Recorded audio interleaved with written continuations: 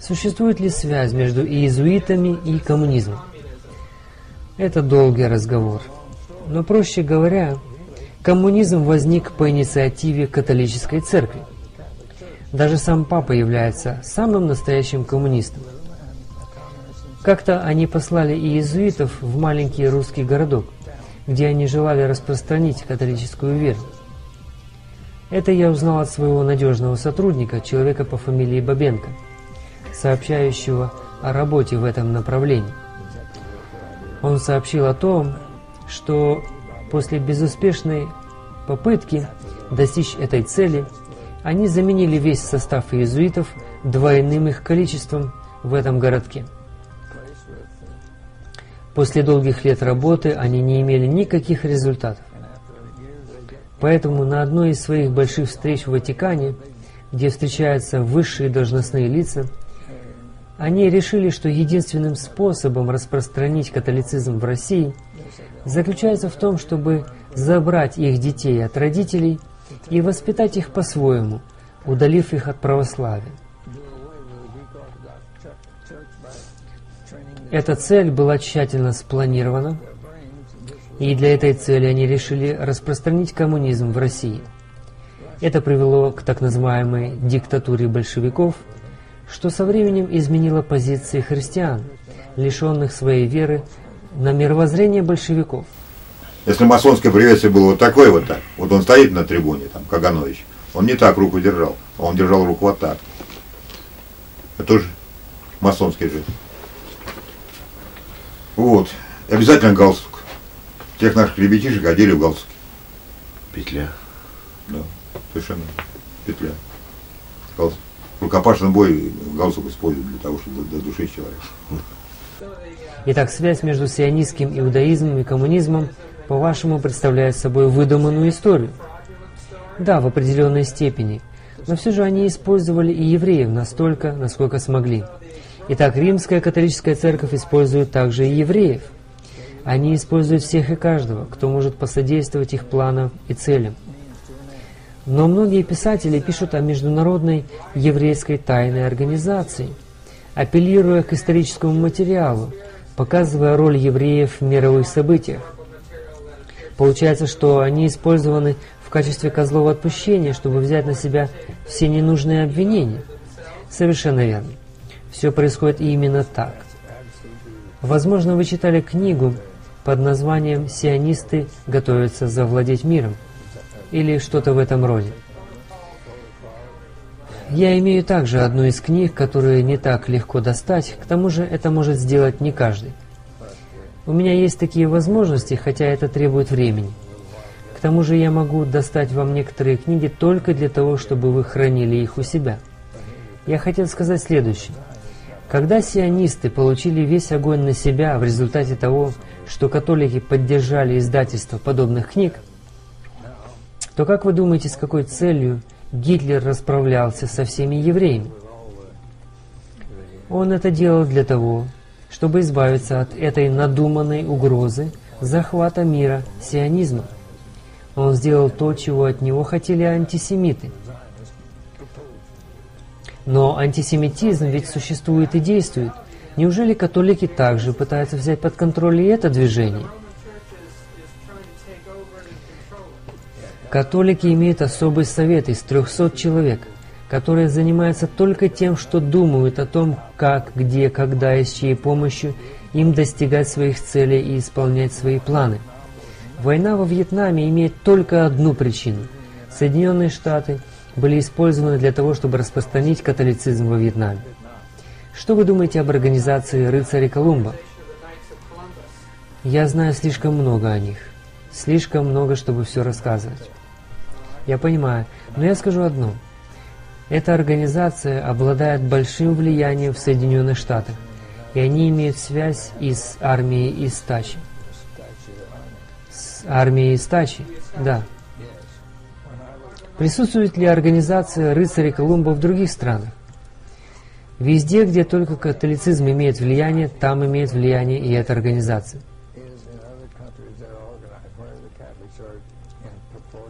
Являются ли рыцари Колумба филиалом ордена иезуитов? Они Они все действуют сообща, в одной связке. Знаете ли вы что-то о связи между римским католицизмом и масонством? Они связаны и сплетены. Вы хотите сказать, что римский католицизм практически манипулирует и контролирует масонами? Римские католики достигли такого уровня, при котором они контролируют очень многих. Это имеет отношение также и к масонам. Неудивительно, что масоны имеют на главных постах католиков. Нашим обществом руководят сумасшедшие люди, преследующие сумасшедшие цели. Я думаю, я понимал это еще, когда мне было 16 или 12. Всегда. Но всю свою жизнь я выражал это по-разному. Всю свою жизнь я пытался это сказать. Но сегодня я могу это сформулировать. Нами руководят маньяки ради собственной финансовой выгоды. Если бы кто-нибудь смог записать, что наше правительство, что американское правительство, русское или китайское, что они пытаются сделать и чем, по их мнению, они занимаются, я бы с удовольствием хотел бы это узнать. Мне кажется, они все сумасшедшие. Но за то, что я говорю это, меня самого могут посчитать сумасшедшим. Вот это есть безумие. У нас тщательнейшим образом все средства массовой информации у нас в России куплены вот этим мировым правительством, вот этими глобализаторами. Джон Коллиман – это сотрудник английской разведки, полковник английской разведки Ми-6. И он, и он 30 лет служа в разведке, изнутри изучал тайные механизмы управления всеми глобальными политическими мировыми процессами. И в этой книге этот разведчик, профессионал высочайшего уровня, пришел к выводу, что всеми глобальными политическими мировыми процессами управляют 300 богатейших семейных кланов мира. Он их так и назвал Комитет 300. Джон Рокфеллер принял самое активное участие в создании Комитета 300. Он поддержал и хорошо профинансировал Всемирный сионистский конгресс в Швейцарии. Именно с этого заседания в Базеле в 1897 году русские разведчики выкрадут скандально известные протоколы сионских мудрецов. Кражу совершила русская разведчица Юлиана Глинка. Где соблазнением, где подкупом она подобралась к самым закрытым членам масонской ложи. И одного из них, Шапира Шорста, уговорила продать ей копии протоколов. За определенную сумму денег он согласился вынести кое-какие документы, но только на ночь. Документы она копировала, потом они были возвращены. Вот Шорста, кстати, этого заподозрили, в конце концов его убили. А тем не менее, как эти документы поступили значит, сюда, в Россию. В 1903 году похищенные протоколы были изданы в России в сокращенном виде. Начался страшный скандал. Все были возмущены циничными планами миллиардеров на установление мирового господства. Насилие должно быть принципом, а хитрость и лицемерие – правилом для правительств, которые не желают сложить свою корону. Создав всеми доступными нам путями с помощью золота, которое все в наших руках, общий экономический кризис, мы бросим на улицу целые толпы рабочих одновременно во всех странах Европы. Основные пункты этой программы повторяют так называемый «Новый завет от сатаны» — программный документ Ордена. И только сейчас, сто лет спустя, стало известно. Вместе с протоколами русская разведка выкрала еще один документ, помеченный грифом «Совершенно секретно». В нем были описаны планы организации крупной морской катастрофы в начале 20 века. В 2014 году американское посольство в Киеве организовало расстрел наемников, которых само же и наняло, после чего произвело их в героя Майдана.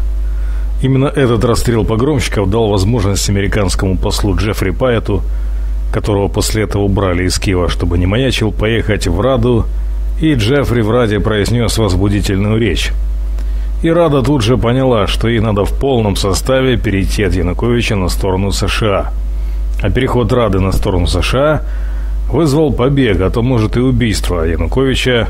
Затем было сфабриковано марионеточное правительство хунты, возглавляемое сначала Турчиновым, потому что именно же Турчинов был для этого подрядчиком ЦРУ по строительству здания американской тюрьмы в Литве.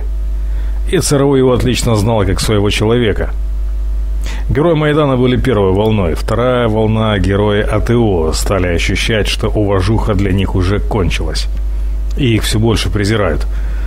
Атошники все чаще стали получать в морду за слова «Пока вы тут отсиживались, я за вас кровь проливал».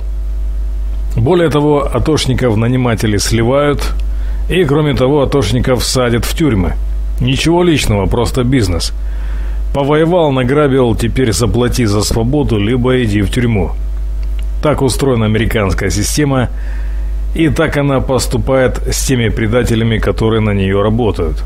Американские деньги, американское оружие. После того, как не удалось э, Сталин вдруг перехватывает, якобы высылает Троцкого и Любавицкого Рэба, Потому что о Троцком высылке все говорят. Что его а за Любавича молчат. А да, за Любавичского Рэба, да, везде молчат. Да, да, да, да, да. А именно Любавицкий Рэба и Хаббат э, и сделали и Первую мировую войну, и Вторую мировую войну, и революцию они делали. Знаешь, и все революции на сегодняшний день, и войны, все делают э, Хаббат. И они же являются учредителями государства Украины. Они были учредители Российской Федерации. Но просто потом власть их перехватили. Кто да? перехватил? Парижский клуб. Парижский клуб? Да. А Парижский клуб, кто за Парижским клубом стоит? А за Парижским клубом тоже стоят масоны, тоже евреи. Что происходит? Оказывается, чего они не могут э, достичь, не, не могли вот за весь этот период, за 300 лет, они э, почему лезут? Они все хотят поднять русскую душу это и вычислить ее. Почему? Потому что э, образы. То есть мы мыслим образами. То есть и достаточно образ запустить, и все начинает работать, и все начинает осуществляться. Достаточно просто подумать, и это уже произошло. И это начнет происходить, и, то есть мысль даже достаточно. И причем неважно, ты где, может, где бы ты ни находился, ты мысль запустил, и все и начинает происходить и реализовываться. Почему э, все театры э, они захватили? Потому что театр это мощнейшее оружие. Генератор мыслей. Образов. Да. Образов. Образов. А запустив образ, ты уже все реализовал. Белое масонство или организация масонского типа с отделениями во многих российских городах с общим членом около э, 100 тысяч человек. Ну, это прежде всего фонды. Фонд Сороса. Сорос, Афанасьев, Бакланов – Заславская и тому подобное. Фонд «Культурная инициатива», Фонд Конгресса США, Международный фонд экономических и социальных реформ, Шаталина, Балкина, Бакатин и другие, Орден Орла. Вот это Орден Орла, в который стремятся попасть все депутаты, значит, наши, нашей Думы. Почему? Если ты попадаешь в этот орден, а ты становишься непотопляемым. Ты попадаешь в ту колоду карт, которая даже если провела одно дело, перемещает на очень хорошее другое место. Это Бегишев, Смоленский, Бунич, э, э, Церетели, кстати говоря, Соловьев. Масонский храм под стенами Кремля и тайный обряд посвящения. Куда мы сейчас спускаемся? Мы с вами сейчас идем в храм. Угу. Храм, в котором собираются наши братья Сюда, на да? своих собраниях. Неприметный подвал в центре Москвы. Непосвященный никогда не догадается. Здесь действует масонский храм. За этот порог еще никогда не пускали чужих. Честно вам признаюсь, первый раз в масонском храме. Вот что здесь? Ну, это и не удивительно, да? Потому что, как правило, мы в свои храмы не пускаем. И это традиция, которая существует уже много столетий. На старшем курсе вы вступили в череп и кости. Не уверен, что нам стоит говорить об этом. Но народ Америки должен знать, к чему секреты. Ну, конечно, должны. Ну, какие секреты, бог с вами. Одно могу сказать, это не имеет ничего общего с теорией заговора. You and George Bush were both members of Skull and Bones, the secret society at Yale. The rule is if someone mentions Skull and Bones, you walk out of the room. If you're both in a presidential, you're both in a presidential debate, and the moderator says Skull and Bones, you both leave the podiums? I doubt it. You'll hang in there. I think you'll see both of us uh, have a terrific. You know, I'd love to have a debate with the president right now. Я всего лишь цитирую из разных источников, из разных интернет-сайтов. Вы можете сами проверить. Для того, чтобы показать вам, кто управляет сейчас государством. Давайте посмотрим. Билл Клинтон, масон 33 степени. Ньют Гингрич. Боб Доул. Джек Кемп. Стром Термонд. Джесси Хелмс. Барри Голдвотер. Все они масоны 33 степени. Эл Гор неизвестно. Билл Клинтон, Джеймс Монро, Эндрю Джексон, Эндрю Джонсон, Рузвельт, Уильям Тафт, Франклин Рузвельт, Хардинг, Линдон Джонсон, Джеральд Форд, Рональд Рейган, Джордж Буш. Все это масонские президенты. Ицхак Рабин, Ясер Арафат, Принц Филипп и многие другие. Еще один источник. Саддам Хусейн. Интересно, как он имеет причастность к этому. Масон 33 степени. Тони Блэр, 33 степень. Герхард Шрёдер, масон 33 степени. Бенемин Нетаньяху, масон 33 степени. Ясер Арафат, масон 33 степени. Рональд Рейган, Михаил Горбачев, Гельмут Коль, Шимон Перес. Также Франсуа Митеран, масон 33 степени. Исхак Рабин, Вилли Брандт. Все эти известные политические деятели были масонами. Также Иосиф Сталин, принадлежал к иллюминати. Также Леон Троцкий был членом ложи масонов. Генри Киссинджер, Эдгар Гувер, также Сесиль Роудс, Алистер Краули, Уолт Дисней был масоном 33 степени, Олаф Пальме, Эл Гор, Тони Блэр, Джозеф Менгеле, один из массовых убийц нацизма. Он принадлежал к иллюминати. Роберт Макнамара, кого тут только не встретишь. Билли Грэм, извините, пойдем дальше. Здесь же Джон Гленн, Баз Алдрин. Все космонавты, кто были в космосе, были масонами. Каждый отправлявшийся в космос должен был быть масоном. Вот еще некоторые имена. Фрэнсис Бейкон, лорд Дэвид Оуэн, Джимми Картер. Я только пробегаю некоторые имена. Королева Елизавета является королевой Бильдербергского клуба. Принц Филипп, королева Беатриса. Все они принадлежат клубу 300. Итак, мы можем продолжать до бесконечности. Рокфеллер, Тед Кеннеди, барон Ротшильд, также Хиллари Клинтон является гранд-дамой шестой степени. И многие-многие другие, которых вы уже хорошо знаете. Это Эдгар Гувер, и здесь президент Дуайт Эйзенхауэр вручает ему крест 33 степени во время церемонии в Белом доме, и они уже никого не стесняются. А здесь мы видим почти все президенты Соединенных Штатов являлись... Эти снимки я сделал сам. Я зашел в ложу масонскую, зашел в президентскую галерею и сфотографировал всех их. Гитлер, так же, как и верхушка масонства, так же, как Ротшильды и иллюминаты, имел идолом Бахамета, Лентийского братства, был таким же сатанистом. И вот те жертвоприношения, которые приносились в лагерях смерти, в газовых камерах, крематориев, были ритуальными.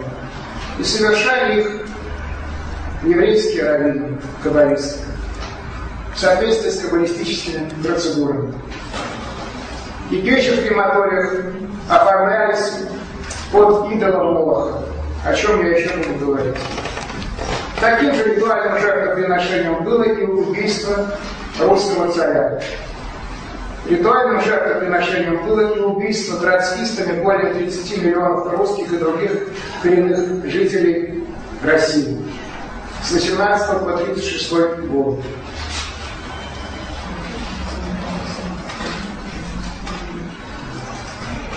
А вот слова Троцкого. Мы должны превратить Россию в пустыню, населенную белыми неграми, которым мы дадим такую тиранию, какая не снилась никогда самым страшным деспотом Востока.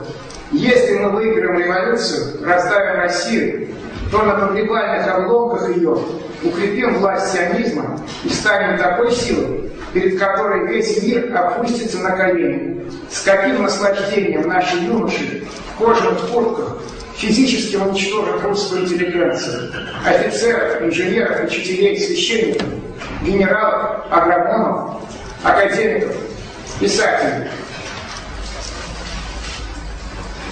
В 1939 году Геббельс за особые заслуги перед Германией деле уничтожения русского населения наградил Троцкого титулом истинного арийца. Люди, которые говорят о сталинских репрессиях, не очень говорят о том, не очень понимают о том, что говорят. Сталин, безусловно, преступник. Но именно Сталину мы обязаны тем, что наш мир еще существует. Если бы не Сталин пришел к власти от троцкисты во главе с Троцким, то была бы уничтожена церковь, был бы уничтожен русский язык, и в итоге был бы уничтожен весь мир. Именно Сталин мне позволил Луначарскому провести коренную логику русского языка с переходом на латиницу. Именно Сталин мне позволил уничтожить памятники русской культуры, в том числе собор Василия Блаженного, на чем настаивал Каганович. В своем последнем интервью Гитлер так отозвался о причинах неудачи Блицкрига. Главной причиной он ставил чистку троцкистов, который, которую провел Сталин перед войной. Гитлер говорил, что с троцкистами уже была договоренность о капитуляции Советского Союза перед Германией. Эта чистка нарушила планы Гитлера. Вот Вторая мировая война, как и Первая, была таким же каббалистическим жертвоприношением. Таким же каббалистическим жертвоприношением были атомные бомбы в Хиросиме и Нагасаки. Их применение сопровождалось службой в масонских храмах. И таким же каббалистическим жертвоприношением является 11 сентября. 11 цифра магическая в Кабале, а 11 сентября – это дата усекновения головы Иоанна Крестителя. Таким образом, вот посмотрите, дальше они приводят.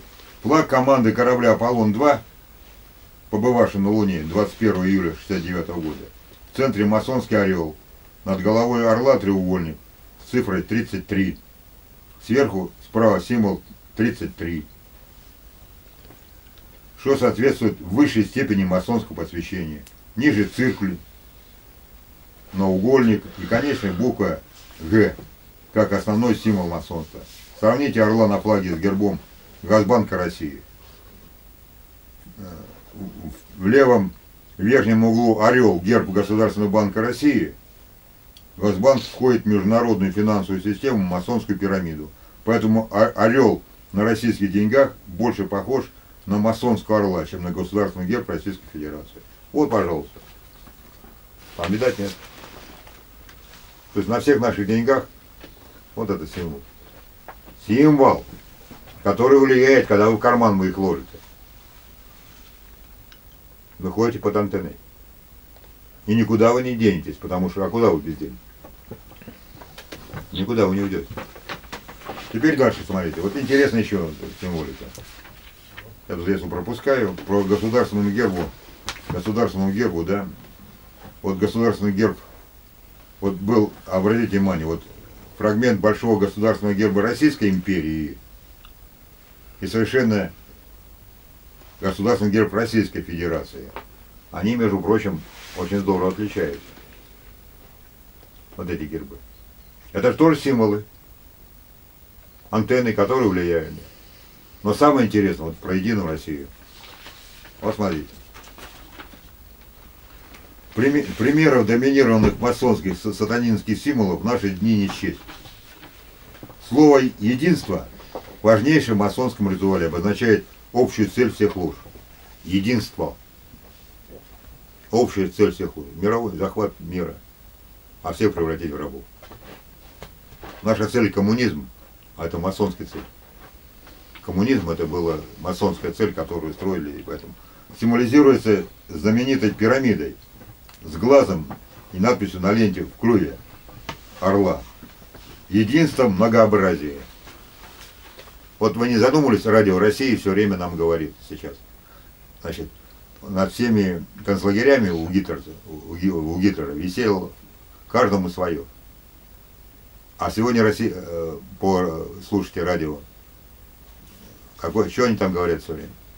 Всему свое время. Да, всему свое время. Обратите внимание, на, на партбилете изображен официальный символ партии «Единая Россия» – медведь на четырех лапах, разрывающий круг, топографический контур нашей страны и три цвета флага. Партия, надпись «Партия Единая Россия». Начнем с медведя.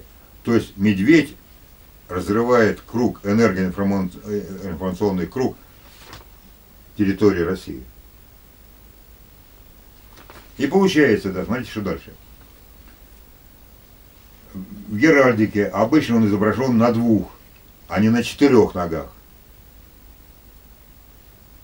Нагнули медведя. Вот. А, а причем в ошейнике или на цепи. Медведь символизирует язычество, ошейник, цепь соответствующая поза победу христианства над этим самым язычеством. Было так. Они показывали, что они его одели на ошейник и там, подчинили, значит, ведичество. Далее. Так, с точки зрения общепринятых символов, медведь всегда отрицательный персонаж. Об этом можно прочитать в любом словаре. Откроем, например, энциклопедию знаков и символов. Вот есть такая энциклопедия знаков и символов. Жона Доли. В издательстве Веча. Москва, 96 год. Читаем. Медведь означает плохой нрав, зло, грубость, жадность, греховность, дьявола, а также силу. В книге пророка Даниила медведь символизирует персидское царство, а также подку. Полная энциклопедия символов, составитель, опять Рошаль, дополняет, в христианской и исламской традициях медведь представляет как темная, жестокая, похотливая, жадная, мстительная сила. Это в христианстве и мусульманстве. А что же у язычников? А там все наоборот. Все кверху ногами. То есть принцип очень простой, ребят. Вот взяли носок и вывернули его наизнанку. Все наоборот, все кверху ногами. Белое сделать черным, черное сделать белым. Все просто. А под какое огромное значение придается символике. Еще раз говорю, символы управляют миром. Вот почему огромнейшее значение зависит от того, какими руками это сделано, из какого дерева и для каких целей. Вот она, символ, управляет миром. Вот теперь дальше давайте.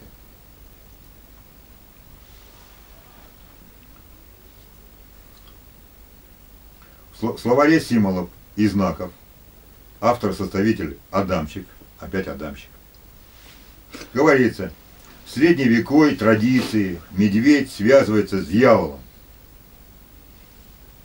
В апокалипсисе медведь упоминается в связи с апокалиптическим зверем. Люди, изучающие символы, часто называют медведя зверем апокалипсиса.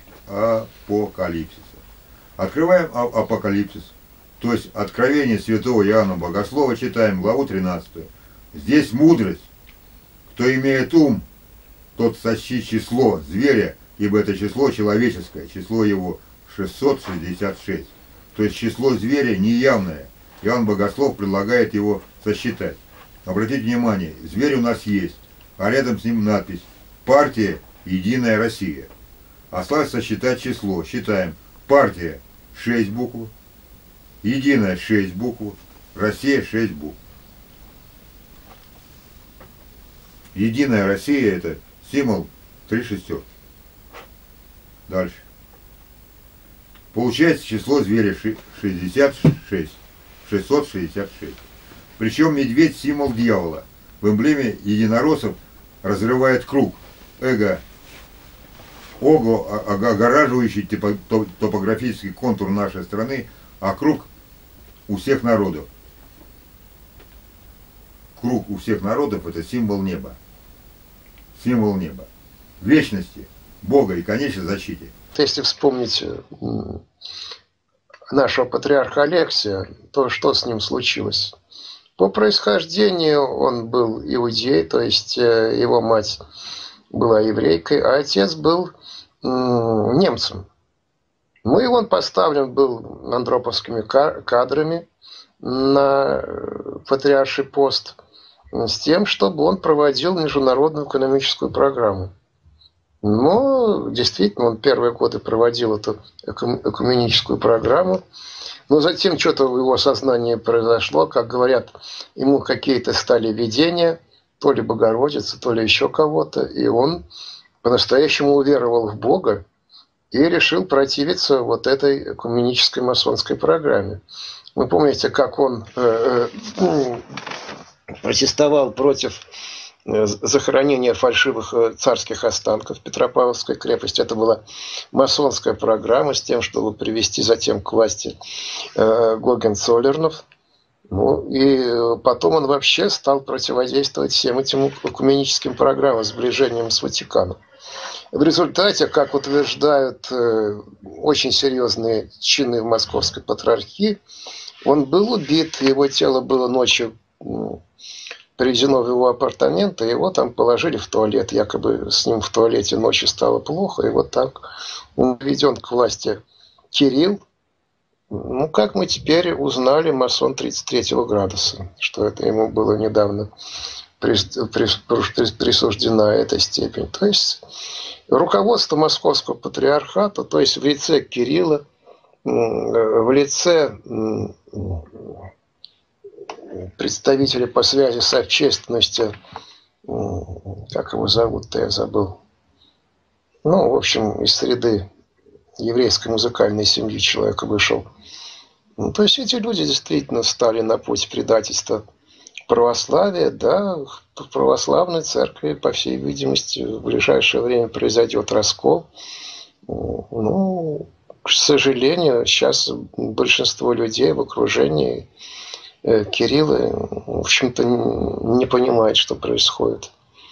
То, что они действительно толкают страну к пришествию Антихриста, толкают страну в ад. Вот что делает руководство православной церковью. Красный галстук – это масонский галстук. Призыв. Будь готов, всегда готов. Масонский призыв. Вот что такое все делали с нашими детьми. Когда кто-то является геем, но ищет Бога, и у него добрые намерения, то я, чтобы осуждать его, Папа Франциск. Сегодня Ватикан и католическая церковь, вот надо попытаться разобраться, почему, двигаются навстречу э, вот самым, казалось бы, э, как бы сформулировать, группам, которые до сих пор олицетворялись грехом, на самом деле, согласно догматам той же церкви. И сегодня это принципиально меняется. Почему? Так нужна паства? Что за этим стоит? Геев и лесбиянок в лоно церкви приглашал сам Папа Франциск. Либеральную идею понтифик объяснял прагматично. Их таланты и достоинства могли бы послужить христианскому сообществу. Такая постановка вопроса у некоторых епископов вызвала шок. В итоге формулировки смягчили и на Синоде обсуждали лишь необходимость необходимость деликатного отношения. We must respect нам нужно уважать достоинство каждого человека, и если он гомосексуалист, это не должно помешать нам признать его и оказать поддержку. Ведь главная личность, а не ориентация. Мне кажется, что это очень важно. Так что одобрение церковью людей с нетрадиционной ориентацией основано на уважении их человеческого достоинства. В начале его понтификата кардинал Баньяско совершал обряд похорон вместе со священниками-геями. Кардинал Баньяско является главой епископской конференции Италии и имеет имеет такого же духа, как экс-папа Франциск. Он сделал жест, которым открыл дверь гомосексуализму внутри церкви. 25 мая совершал похоронную мессу за священника, проталкивающего открыто гомосексуализм и транссексуализм. С кардиналом сослужило несколько гомосексуалистов, которые свое болезненное мышление открыто выразили тем, что имели на себе и петрохили цветов радуги. Orixá das águas doces.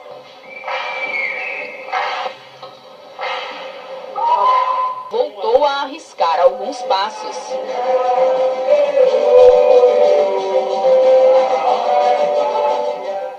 Durante o sermão, o padre Pinto respondeu A homenagem foi a Oxum, orixá das águas doces.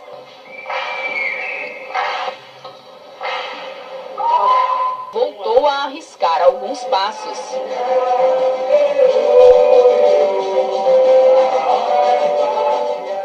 Очередной гей-скандал в Ватикане, хотя, казалось бы, здесь давно перевернули эту страницу. Ну как давно? С приходом нового папы, сменившим Бенедикта XVI. Но если верить авторам фильма, «Ватиканский заговор», показанный на немецком канале АРД, никакое это не прошлое. Педофилы, священники геи и их любовники отлично себя чувствуют и при нынешнем главе католической церкви Франциске I. В церковной верхушке и среди епископов и архиепископов много геев. Здесь в Риме очень легко склеить гея в автобусе, в церкви и гораздо гораздо легче, если ты ходишь в гей-клубы. Сначала ты видишь понравившегося парнишку в клубе, а в воскресенье он уже у алтаря. Три года назад итальянский журналист Кармело Аббатте узнал от своего гея о том, что тот переспал с сановником Ватикана. Так началось расследование, позже ставшее книгой. Аббатте вышел на целую группу священников-мужеложцев и даже смог снять закрытую гей-вечеринку, где служители католической церкви развлекают юноши по вызову. А потом наступил момент, который меня шокировал больше всего. Тогда я полностью осознал, что на самом деле творилось что речь тут не просто о сексе. Священнослужитель из Франции на утро извлек из своей дорожной сумки церковную утварь и начал богослужение в том самом доме, где только что он и другие священники занимались всем этим.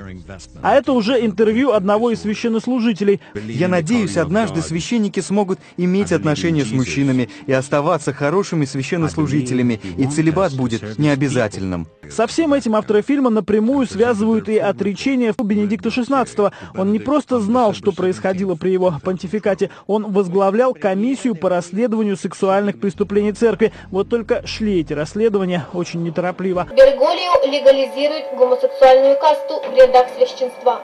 Недавно даже говорил о гомосексуальном лобби в Ватикане.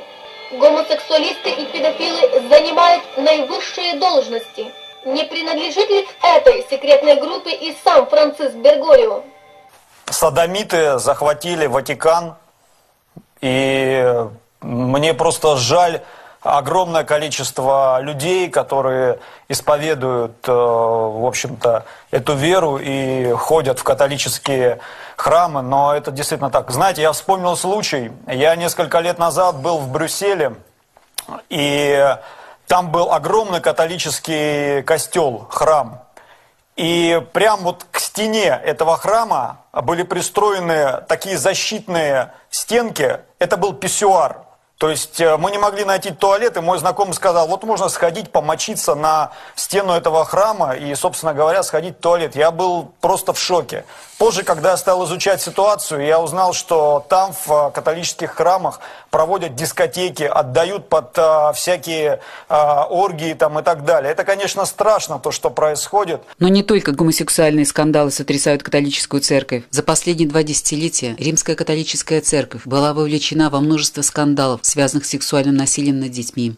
Проявлением страшной апостазии, защищенной авторитетом Иоанна Павла II, были гомосексуализм и педофилия. Есть позором для всей католической церкви, что этих мерзостей на детях допускались духовные лица.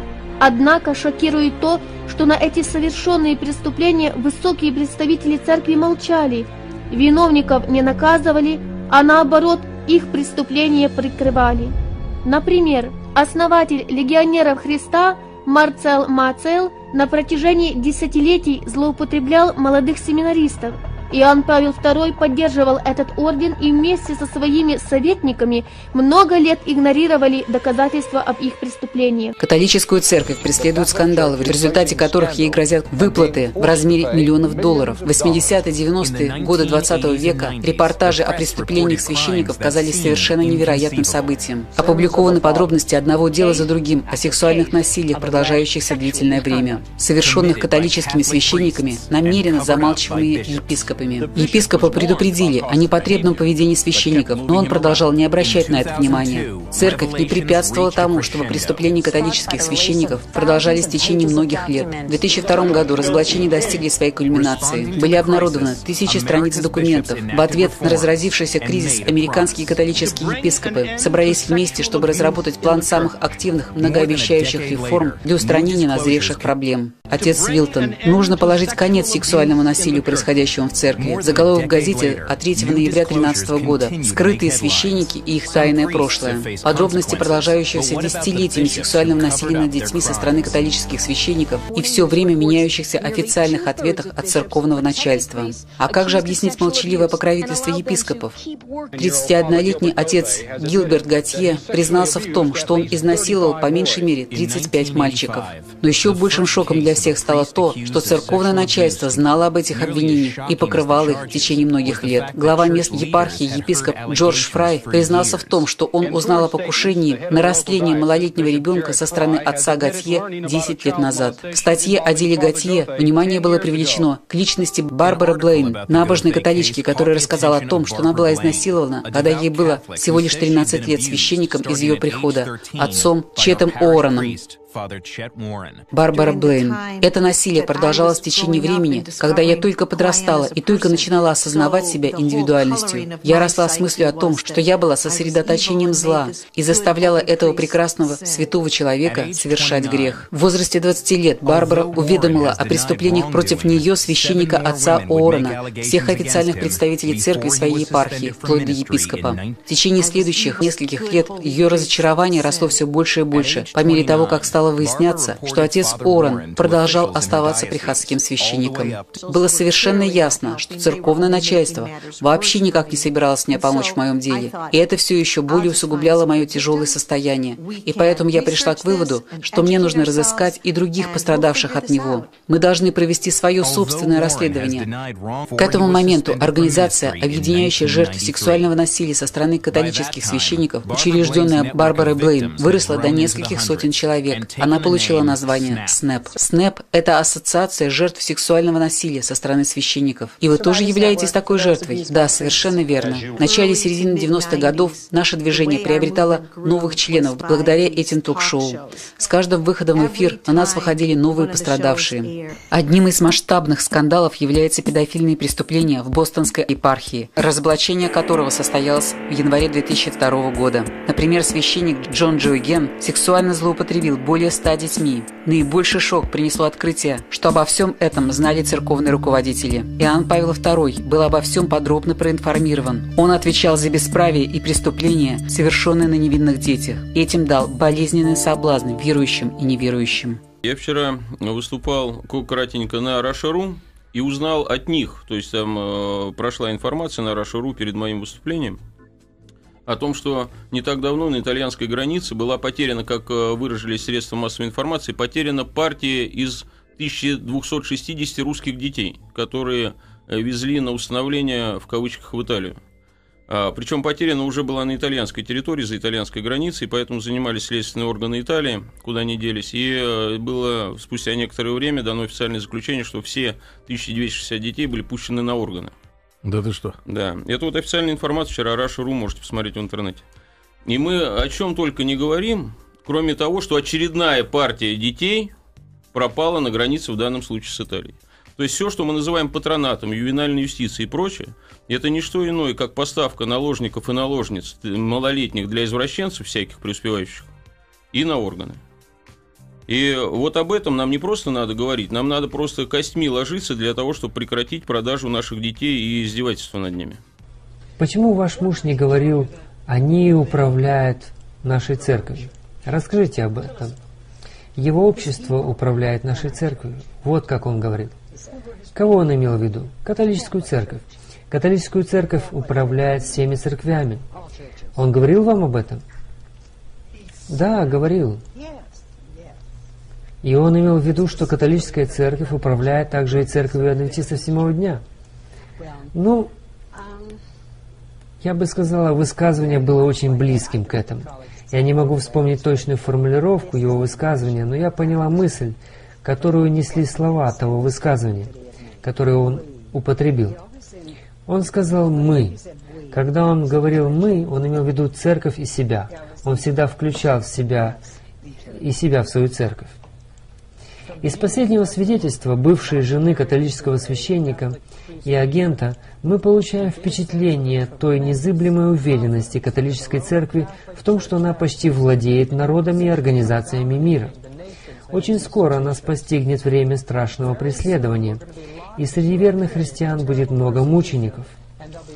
Послушайте слова из книги Откровения, 17 главы 6 стиха. «Я видел, что жена, то есть символ католицизма, упоена была кровью святых и кровью свидетелей Иисусовых. Эта, свиде... Эта церковь объединяется с правителями мира. Послушайте, что сказано в 12 тексте. «И десять рогов, которые ты видел, суть десять царей, которые еще не получили царство, но примут власть со зверем, как цари на один час». Правители этого мира отдадут свою политическую власть той политической системе, которая будет управляться папством. И эта система начнет войну с Богом и его последователями. В 18 главе книги Откровения содержится часть вести Божией к этому миру об этой церкви. Яростным вином блудодеяния своего она напоила все народы, и цари земные любодействовали с нею, и купцы земные разбогатели от великой роскоши ее. Правительства этого мира состоят далеко не в Святом Союзе с, Римой, с римской системой папства, и Бог собирается судить их за это. Я бы хотел, чтобы вы внимательно послушали свидетельство доктора Хайербукса, когда он будет делиться своими, своим видением мировой политики. Я могу сказать, что бы за той дверью, где все, что был за той дверью, где все планируется. Мне было сказано, что они хотят заселить юг, и уже тогда мне было сказано, что они манипули... э, планируют Вторую мировую войну.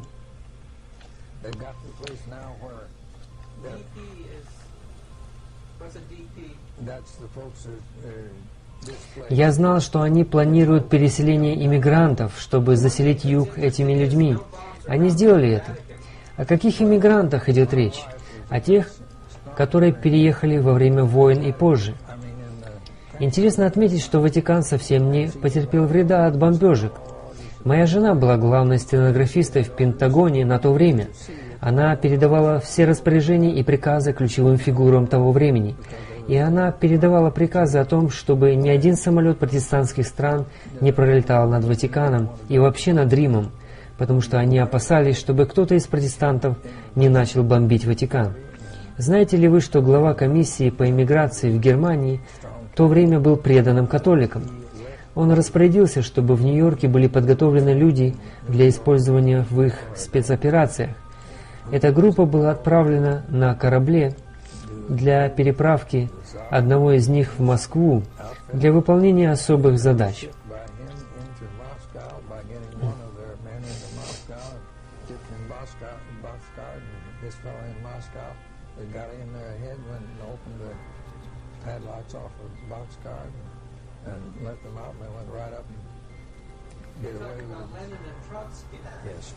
Я имел честь работать с Бабенко, и мы говорили о разных вещах. Мы имели доступ к информации, которую хотели знать. Мы могли даже облачаться в мантии священников, чтобы выглядеть как священники. Поскольку он разговаривал на 44 языках лучше, чем я на своем английском, а его жена на 33 языках, и он с колоссальной скоростью изучал новые языки, что было просто похоже на волшебство. Генеральная конференция использовала его в качестве переводчика, отправляя его туда, куда было нужно. Он был в Европе, Азии и совершал много работы.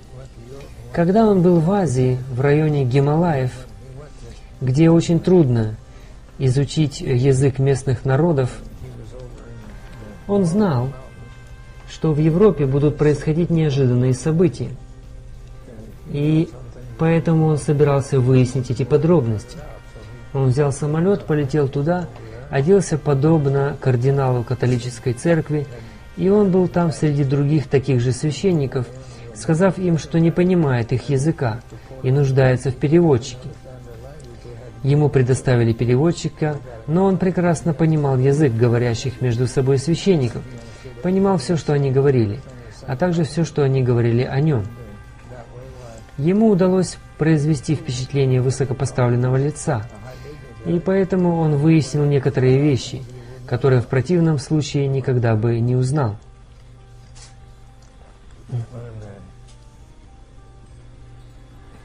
В Европе он узнал о том, что католики намерены покончить с греко-католической ортодоксальной церковью – Причиной этому была неудачная попытка организации иллюминати приобрести банк в России. И видя, что они не могут этого сделать по причине мудрости их противников, они решили от них избавиться.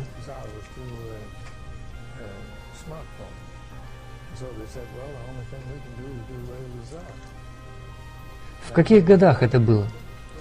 Это было в далеких годах, предшествующих Первой мировой войне.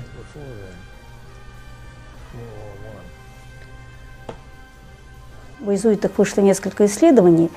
Правда, э, католики всячески открещиваются от этих людей, утверждают, так сказать, да, обалгивая их и дискредитируют. Но, тем не менее, эти работы, они есть. Это работы бывшего иезуита Альберто Ривера, вот, э, который в итоге исключили из католической церкви, он перешел, стал протестантом, и Жерар Буфар, тоже такой э, католический епископ, которому было поручено следить за этим Альберту Ривера и его всячески разоблачать, но в итоге он пришел к тем же выводам, что и Альберто Ривера изучает, так сказать, как бы из, и, и, эту систему изнутри, тем более, что он в течение шести лет, Жерара, отвечал за переписку между папой и генералом общества иезуитом, в общем-то, имел возможность с этим ознакомиться.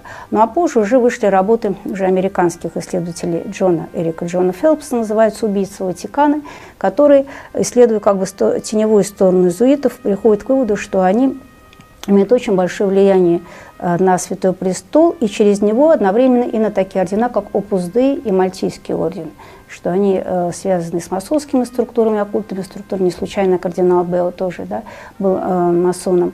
Э, и э, даже, так сказать, такое-то оккультное движение, как бы э, ключевое оккультное движение, как New Age, что и там, так сказать, туда они внедряются, и там работают. И в этом плане э, не случайно их очень э, хорошие связи и близкие отношения и с мусульманскими организациями, и с иудейскими организациями, и с буддистами. Вот, в частности, Фелпс утверждает, что они финансировали, финансируют э, Далай, э, тибетских лам. Вот, и таким образом да, э, имеет возможность их контролировать. Заметьте, что требуется для того, чтобы стать иезуитом высшего звена. Сын мой, раньше тебя учили действовать лицемерно. Среди римокатоликов быть римокатоликом и шпионить даже за собственными братьями. Не верить людям и не доверять им. Среди реформаторов быть реформатором, среди гугенотов быть гугенотом, среди кальвинистов быть кальвинистом. Среди других протестантов в целом быть протестантом и завоевывать их доверие, стремясь даже проповедовать с их кафедр и осуждать всеми силами своей души нашу святую веру и папу. И даже пасть настолько низко, что стать евреем среди евреев, чтобы у тебя была возможность собирать всю информацию на благо нашего ордена, как верного солдата папы. Ты был обучен обязанностям шпиона собирать всю статистику, факты и информацию, доступную тебе со всех источников, самому втираться в доверие в семейный круг протестантов и еретиков любого рода и класса, в том числе и к торговцам, банкирам, юристам, в школах университетах, в парламентах и законодательных собраниях, в судах и государственных советах, и быть всем для всех во имя Папы, чьи слуги мы до самой смерти. И если это не произвело на вас впечатление, то обратите внимание, чего еще требует эта клятва. И это только часть клятвы.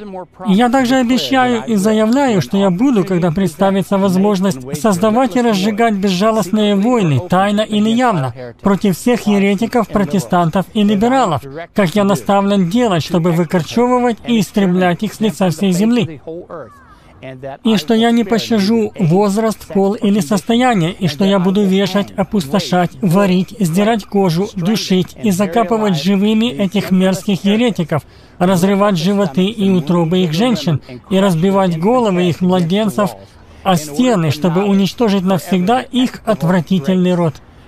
И когда это нельзя будет сделать открыто, я буду тайно использовать отравленную чашу и петлю-удавку, сталь кинжала или свинцовую пулю, невзирая на честь, положение, достоинство или власть личности или личностей, каким бы ни было их положение по жизни, общественной или личной, и что я в любое время могу получить приказ поступить так от любого агента Папы или высшего по званию в братстве Святой Веры из общества Иисуса. Для кого-то может показаться, что в это трудно поверить, в особенности со времени избрания Папы Франциска. Но в 1967 году доктор Альберто Ривера, иезуит, сбежал из ордена, и он описал свою клятву иезуитов в точности так, как мы только что видели. В книге «Великая борьба» Елена Вайт также описывала этот орден похожим языком. Во всем христианстве протестантизму угрожали ужасные враги, когда первый триумф реформации прошел, Рим призвал новые силы, надеясь разрушить его. В то время был создан орден иезуитов, самый жестокий, беспринципный и мощный из всех поборников папства. Отрезанные от всех земных связей и людских интересов, мертвые к природным склонностям, рассуждениям и полностью заглушенной совестью, они не признавали никаких правил, никаких связей, кроме своего ордена, и никаких обязанностей помимо расширения власти ордена. Не было для них преступления слишком великого, чтобы его нельзя было совершить. Не было обмана слишком низкого, чтобы его нельзя было исполнить.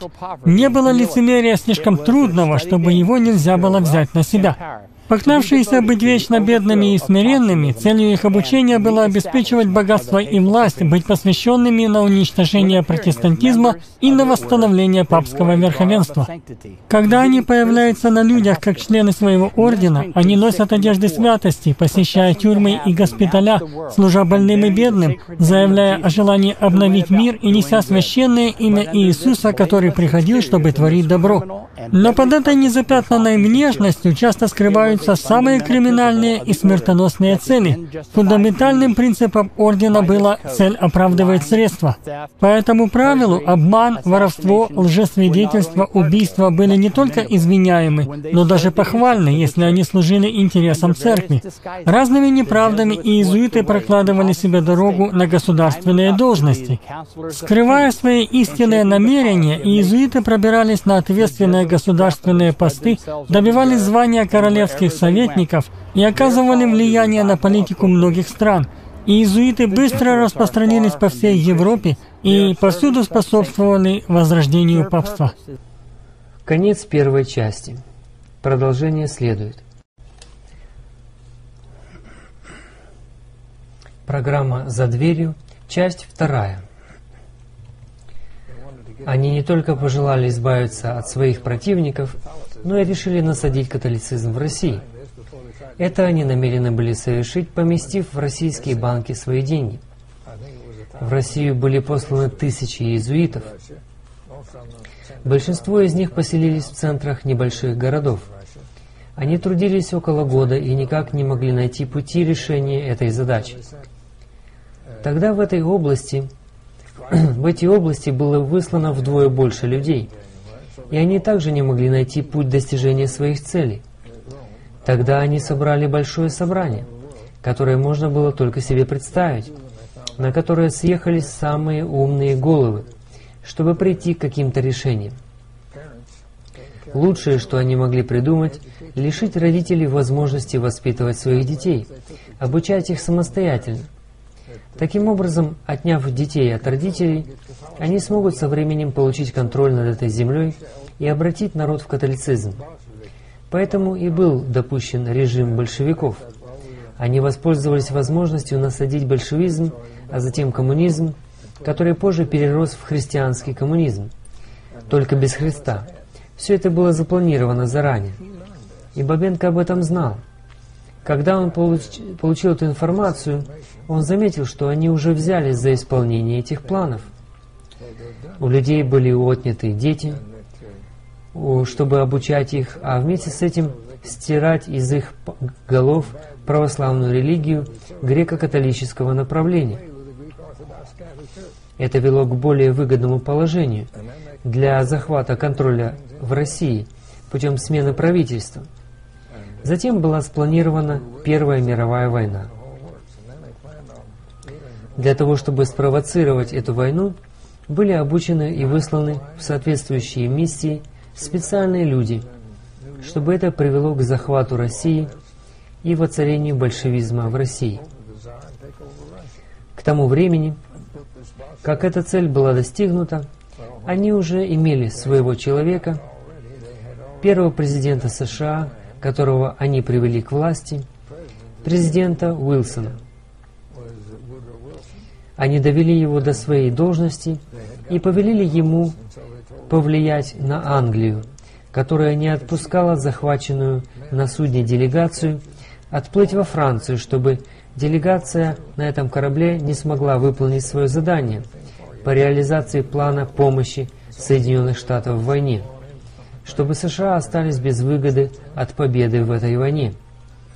Сразу после этого Англия отпустила делегацию во Францию, затем эта делегация отправилась в Швейцарию и далее по своему маршруту. Глава по вопросам иммиграции был католиком. Он отделил одного человека из этой делегации и отправил его в Москву со своим заданием.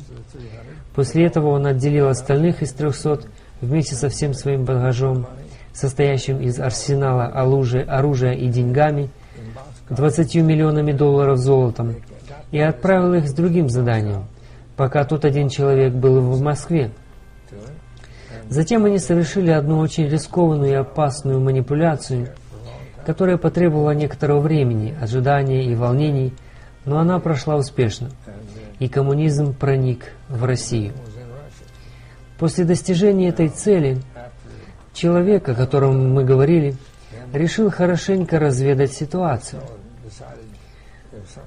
Он снова переоделся, замаскировался и отправился на разведку к католикам. Он выяснил, что католики собрали своих умнейших людей для планирования планов на будущее. Они задумали Вторую мировую войну и решили, что эту войну развяжет Гитлер.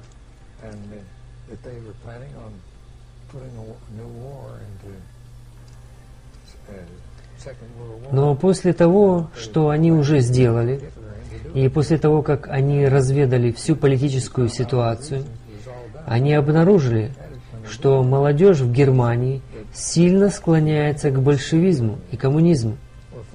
И молодежь в католической церкви в Италии склоняется к тому же.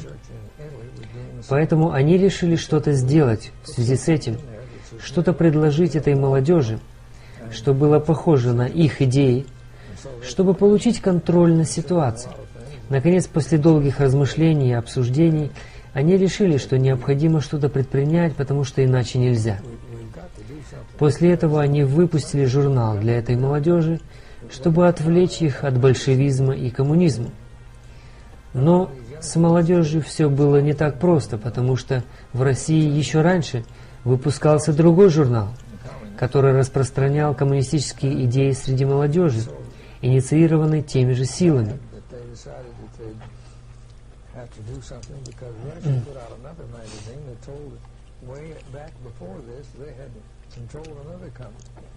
Поэтому эти материалы существовали в определенных книгах и были доступны в библиотеках Европы.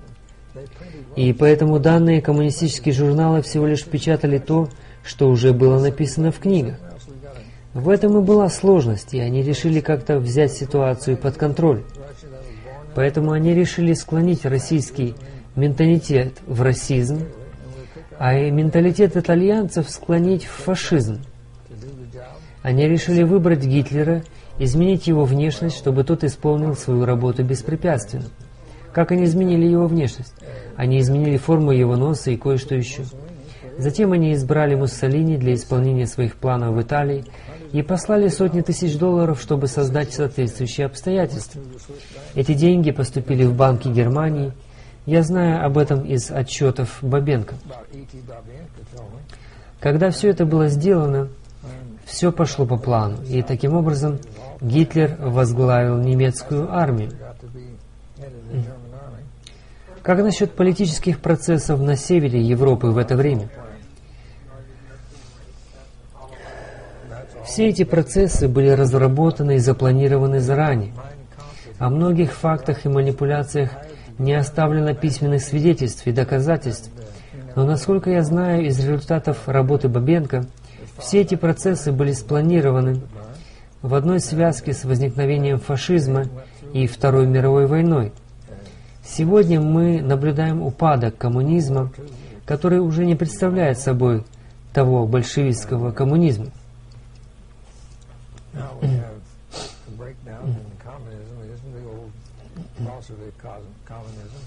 Налаживаются связи России с католицизмом, и наши цели в этой стране также достигаются, потому что они не могут, не могут консолидироваться с католиками, игнорируя отношения с нами. Хотя многого еще предстоит достичь. Но они используют католицизм, чтобы добиться контроля над многими странами. Сегодня более 50% стран мира поддерживают коммунизм. Я скажу вам еще нечто интересное. Когда президент Уилсон шел к своему избранию, католики послали достаточно своих представителей из Европы с особым заданием объявлять о распространении мировой демократии, чтобы подвести Уилсона к своей должности. К большому сожалению, об этом даже не хочется говорить, но на сегодняшний день в истории Соединенных Штатов и в истории президентов США трудно найти президента, который бы не был избран при поддержке иезуитов с самого времени президента Вашингтона. Если вы еще этого не знаете, президент Вашингтон уже был избран благодаря иезуитам, чтобы посодействовать первым связям Америки с Ватиканом. Он был первым таким президентом в этой стране. С тех пор президент Рейган поставил самую жирную точку на всей истории этой тайной деятельности, потому что никакой другой президент настолько не сближался с Ватиканом, как президент Рейган. Даже Джон Кеннеди на это не решился. Это значит, что иезуиты смогли совершить через президента Рейгана то, чего они не были способны достичь даже через президента Кеннеди. Тем не менее, я бы сказал следующее – Религия президента Кеннеди представляет собой не что другое, как другое выражение католицизма. Возможно, мне нужно прояснить сказанное. Римский католицизм представляет собой не только римскую католическую церковь. Римский католицизм также включает в себя и те организации, которые находятся за пределами самой католической церкви. Это значит, что за пределами Римской католической церкви существует много дочерей католической церкви. И наряду с существованием этих дочерей существуют также и дети этих дочерей. И, безусловно, президент Рейган принадлежит к одной из этих дочерних организаций. Он имеет отношение с Ватиканом сегодня, что привело к нескольким последствиям. Одно из них – дипломатические отношения с Ватиканом. Второе приготовление к подписанию договора между Ватиканом и Соединенными Штатами. И чтобы вы знали, эти процессы не происходят за один день. Президента Рейгана долго готовили к тому, что происходит сегодня. Готовили с самого того времени, когда он еще снимался в хорошо известном фильме, который показывают и сегодня. Очень старом фильме о футбольной команде Нотр-Дам. Именно в то время иезуиты и вышли на связь с Рейганом. Иезуиты в своей деятельности не вовлекаются в острые ситуации непосредственным образом. Они играют только интеллектуальную роль в приготовлении к тем событиям, которые уже происходят без их прямого участия. Возьмите, к примеру, Авраама Линкольна.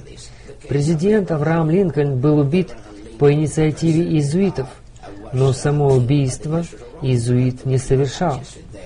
Тем не менее, иезуит разрабатывал и готовил покушение на жизнь президента и готовил самих исполнителей этого покушения. То же самое произошло и с покушением на жизнь президента Кеннеди. Убийство Кеннеди – это еще один факт, который может быть доказан в любое время. а именно, что все было сделано иезуитами, чтобы избавиться от президента, который был позором для католической церкви, которой он принадлежал. Мы имеем две различных крайности. Авраам Линкольн был искренним христианином, верным христианином, а в лице Кеннеди мы имеем человека, который принадлежал католической церкви, но не оправдал доверие своей организации, когда он вознамерился совершить то, что он считал правильным совершить для Конституции и для католической церкви, будучи на посту президента-католика. Когда он возвысил Конституцию Соединенных Штатов над принципами и курсом своей церкви, он тем самым навлек на себя беду. Знаете ли вы что-либо о покушении на президента Кеннеди и на его связь с римским католицизмом? Я бы не хотел говорить о том, что я знаю, но я точно знаю одно.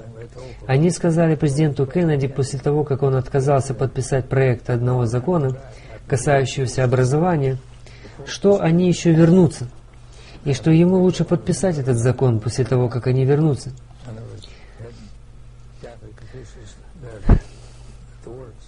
Над этим законопроектом работали католические должностные лица.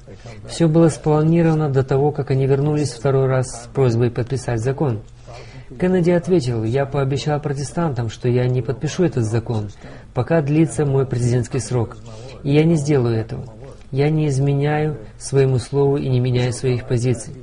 Вскоре после этого его смерть сделала его скорее более известным, чем мертвым. Он не знал о покушении, но его жена знала об этом, и она позвонила их другу, который приехал и сказал им, что он намерен забрать их к себе на свой собственный остров. Он все-таки сделал это, но, правда, позже, когда вся семья отправилась к нему на остров, семья Кеннеди, и похоронили там президента в море. Он был какое-то время в госпитале на острове.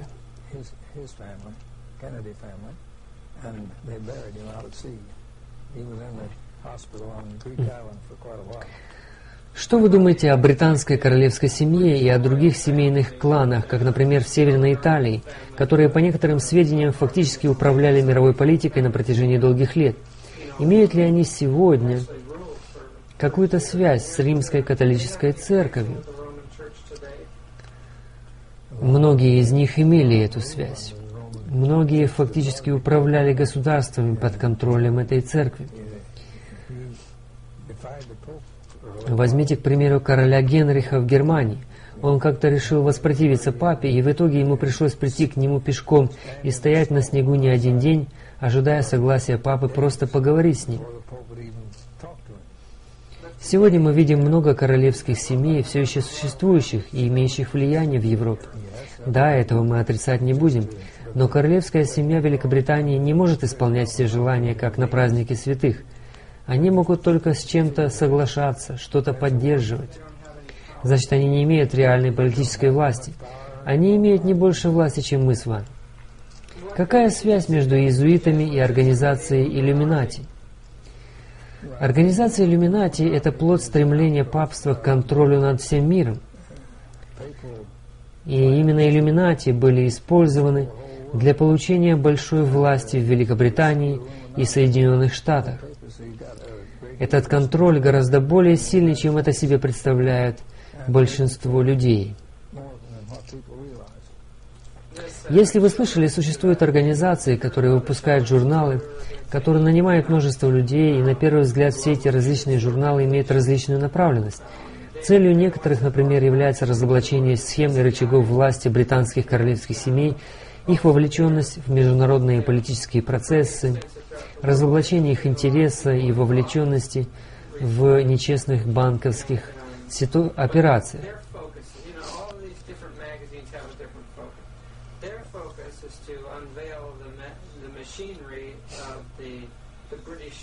Что можно сказать об этих журналах и о тех, о том, откуда приходят финансы на эти журналы? Все это представляет собой ту ширму, за которой находится настоящий спрут, стремящийся к своим целям за занавесом этого шума. Вся причина заключается в занятии своих позиций в Соединенных Штатах. Они допустили множество данных публикаций и шумихи, потому что это содействует их планам.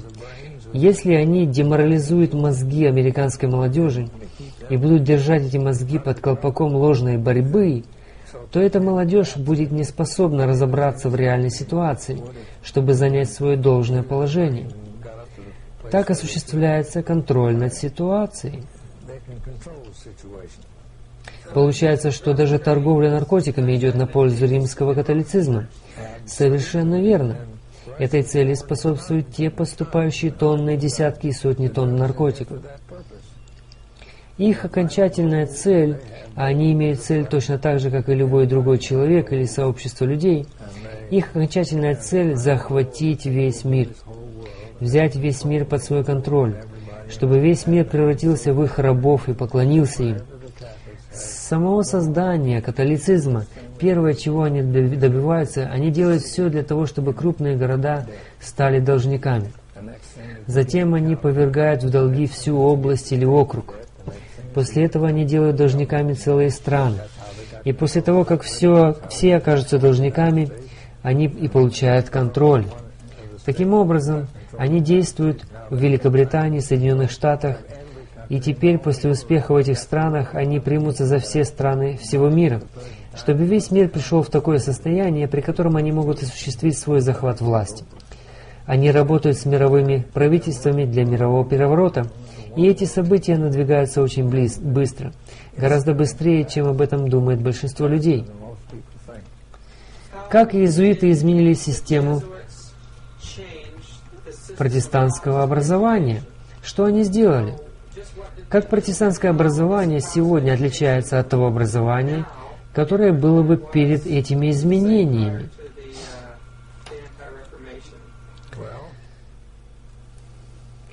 Изменений очень много, и в этом нет никаких сомнений. Но эти изменения происходили во внутреннем процессе образования и управления образованием, чтобы помочь им взять контроль над образованием. Контроль над образованием достигается путем разрушения и размытия морали протестантов, получающих это образование.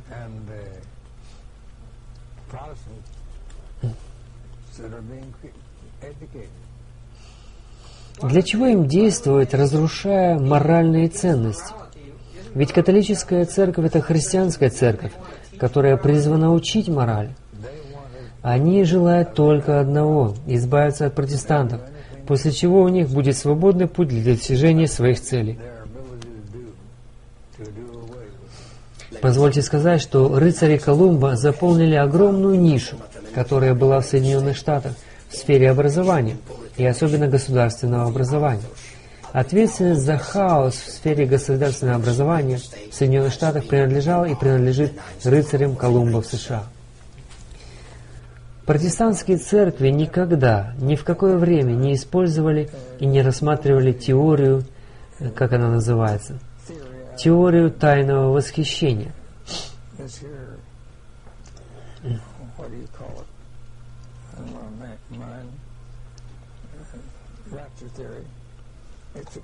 Эта теория принадлежит исключительно католикам.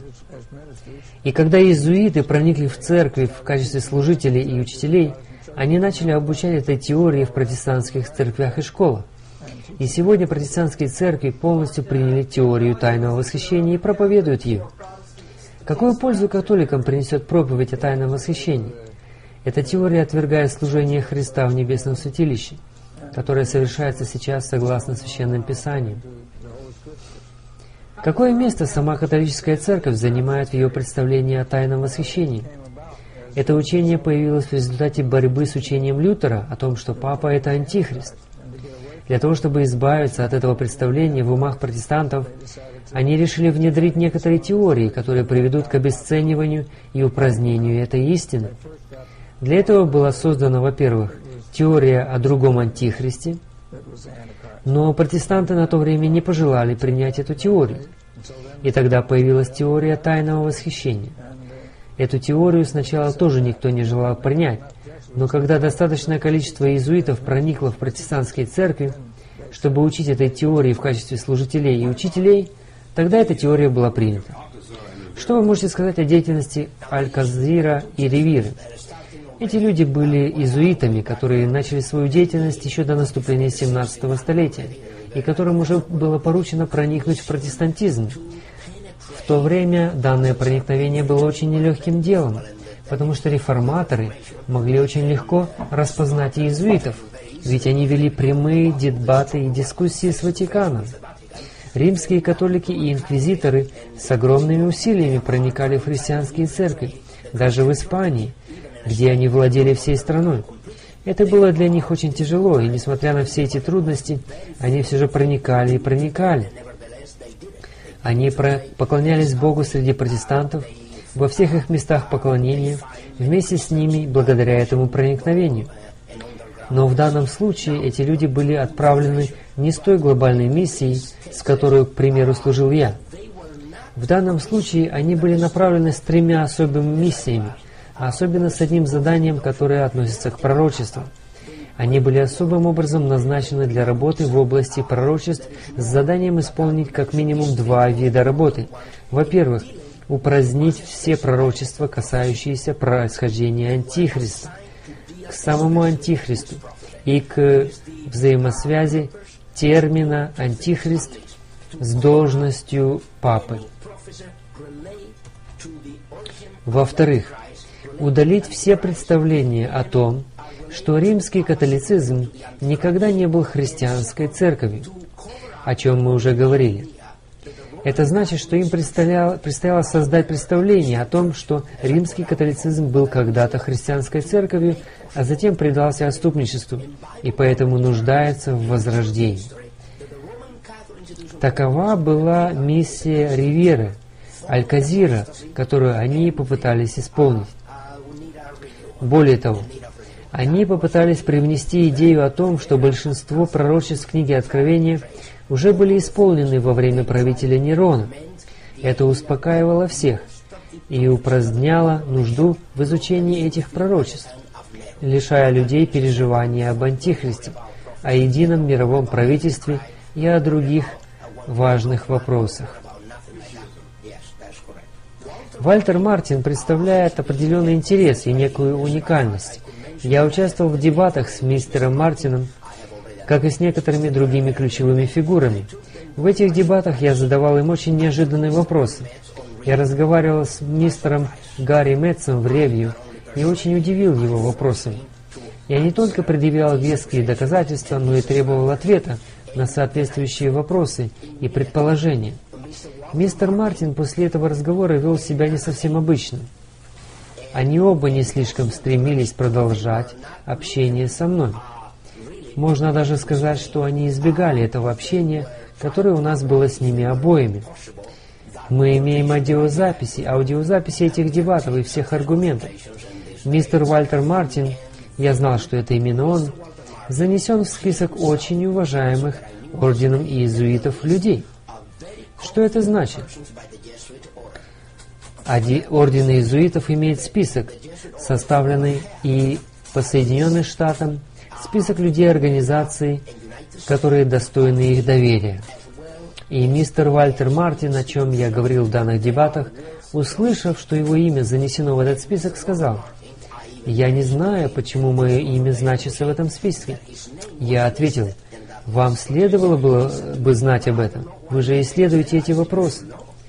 Почему мистер Вальтер Мартин 25 лет назад написал о культе Марии целую книгу, и спустя 25 лет он представил список, который у меня даже есть с собой, список культов, куда он занес самые опасные культы, в которые вошли такие деноминации, как христианская наука, свидетели Иеговы, мормоны. Этот список начинается с мормонов –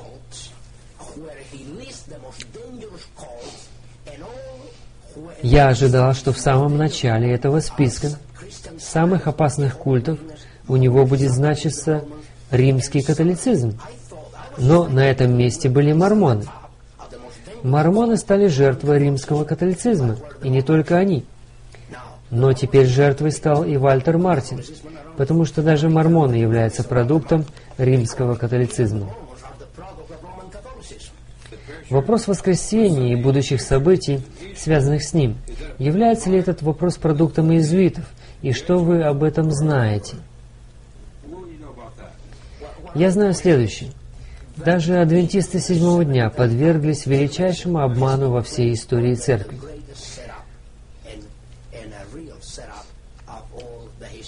Доказательством этому является позиция лидеров церкви, которые уверены в том, что они никак не могут действовать на противоположной стороне, потому что противник уже разоблачен, противник изучен, и его истинные намерения и планы уже открыты, что свидетельствует о проведении соответствующей подготовки иезуитами.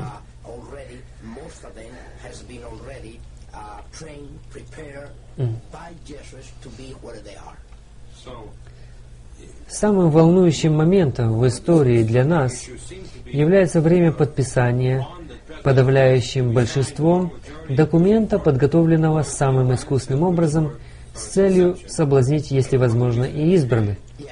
Но не хотите ли вы сказать, что адвентистские лидеры будут просто обмануты?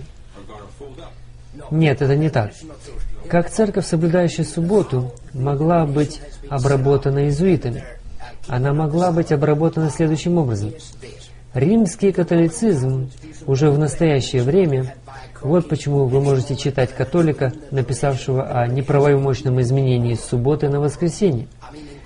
Уже в настоящее время решением Ватикана римский католицизм склонен согласиться с этой ошибкой. Римский католицизм готовит величайший сюрприз для всех – Дело в том, что решающим вопросом будет не вопрос воскресения. Скажу вам, что католичество примет субботу, и вы увидите, почему.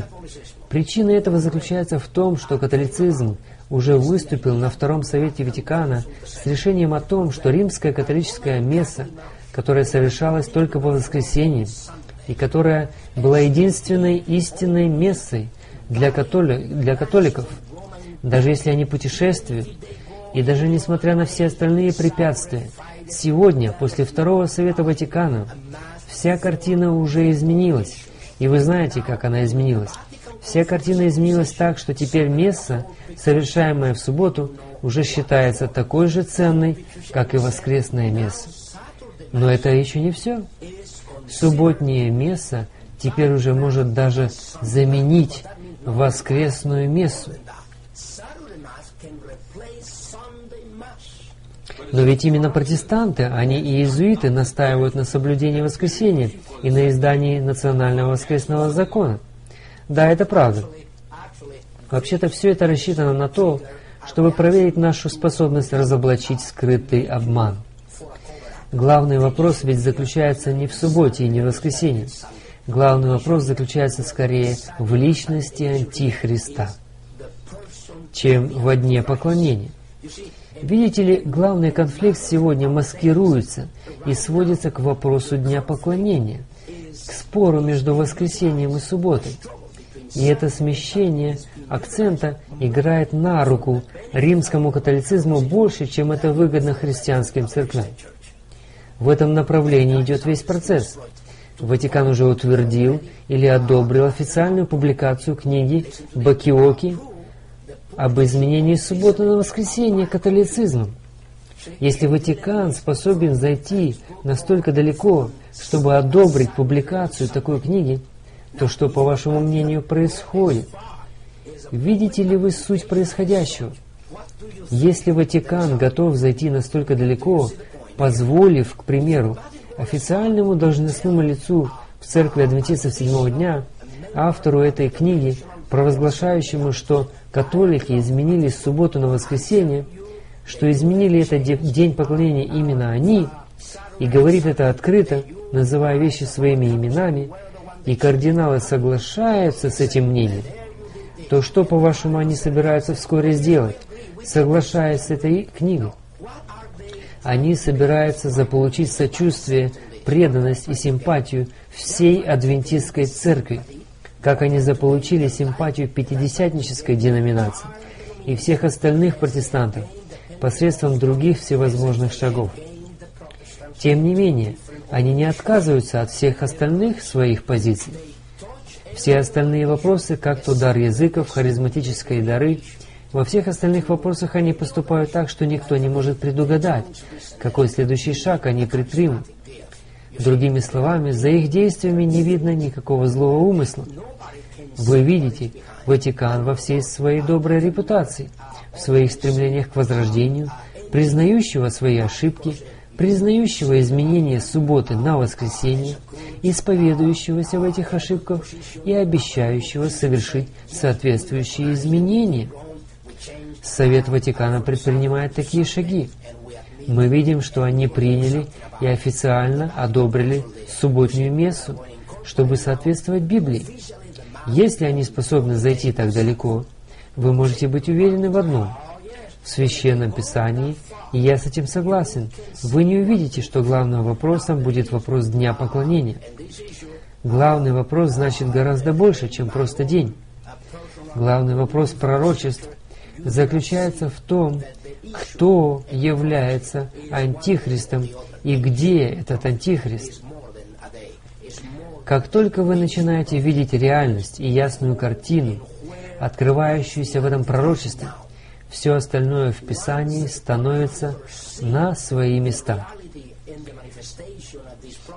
Но когда человек ослеплен, не зная реальности о том, кто такой папа, и при этом папа раздает всевозможные милости всем деноминациям, никто не поверит в то, что папа является таким плохим персонажем библейского пророчества. Все дело в том, что их совершенно не волнует, что будет с людьми. Неважно, кто побеждает в какой-либо войне, лишь бы эта победа содействовала их интересам. Прежде чем инициировать войну, они убеждаются в том, что они от этого выиграют после того, как она закончится. Совсем недавно они увидели, что из католической церкви уходит много прозелитов в Южной Америке. Слишком много людей уходили из католической церкви, и они решили, что должны что-то сделать, чтобы остановить этот процесс. Священники обсуждали этот вопрос.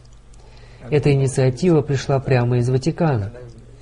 Кем же стали эти прозелиты? В основном они переходили к адвентистам седьмого дня.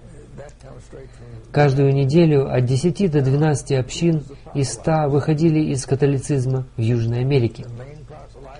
В других странах происходило то же самое. Поэтому они решили запланировать определенные действия и довести эти решения до конца.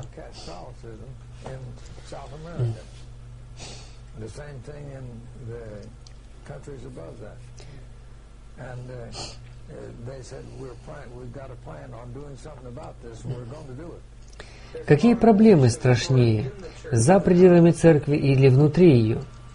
Не обнаружим ли мы большое количество проблем, исходящих из, изнутри самой церкви, когда задумаемся об этом проникновении в церковь?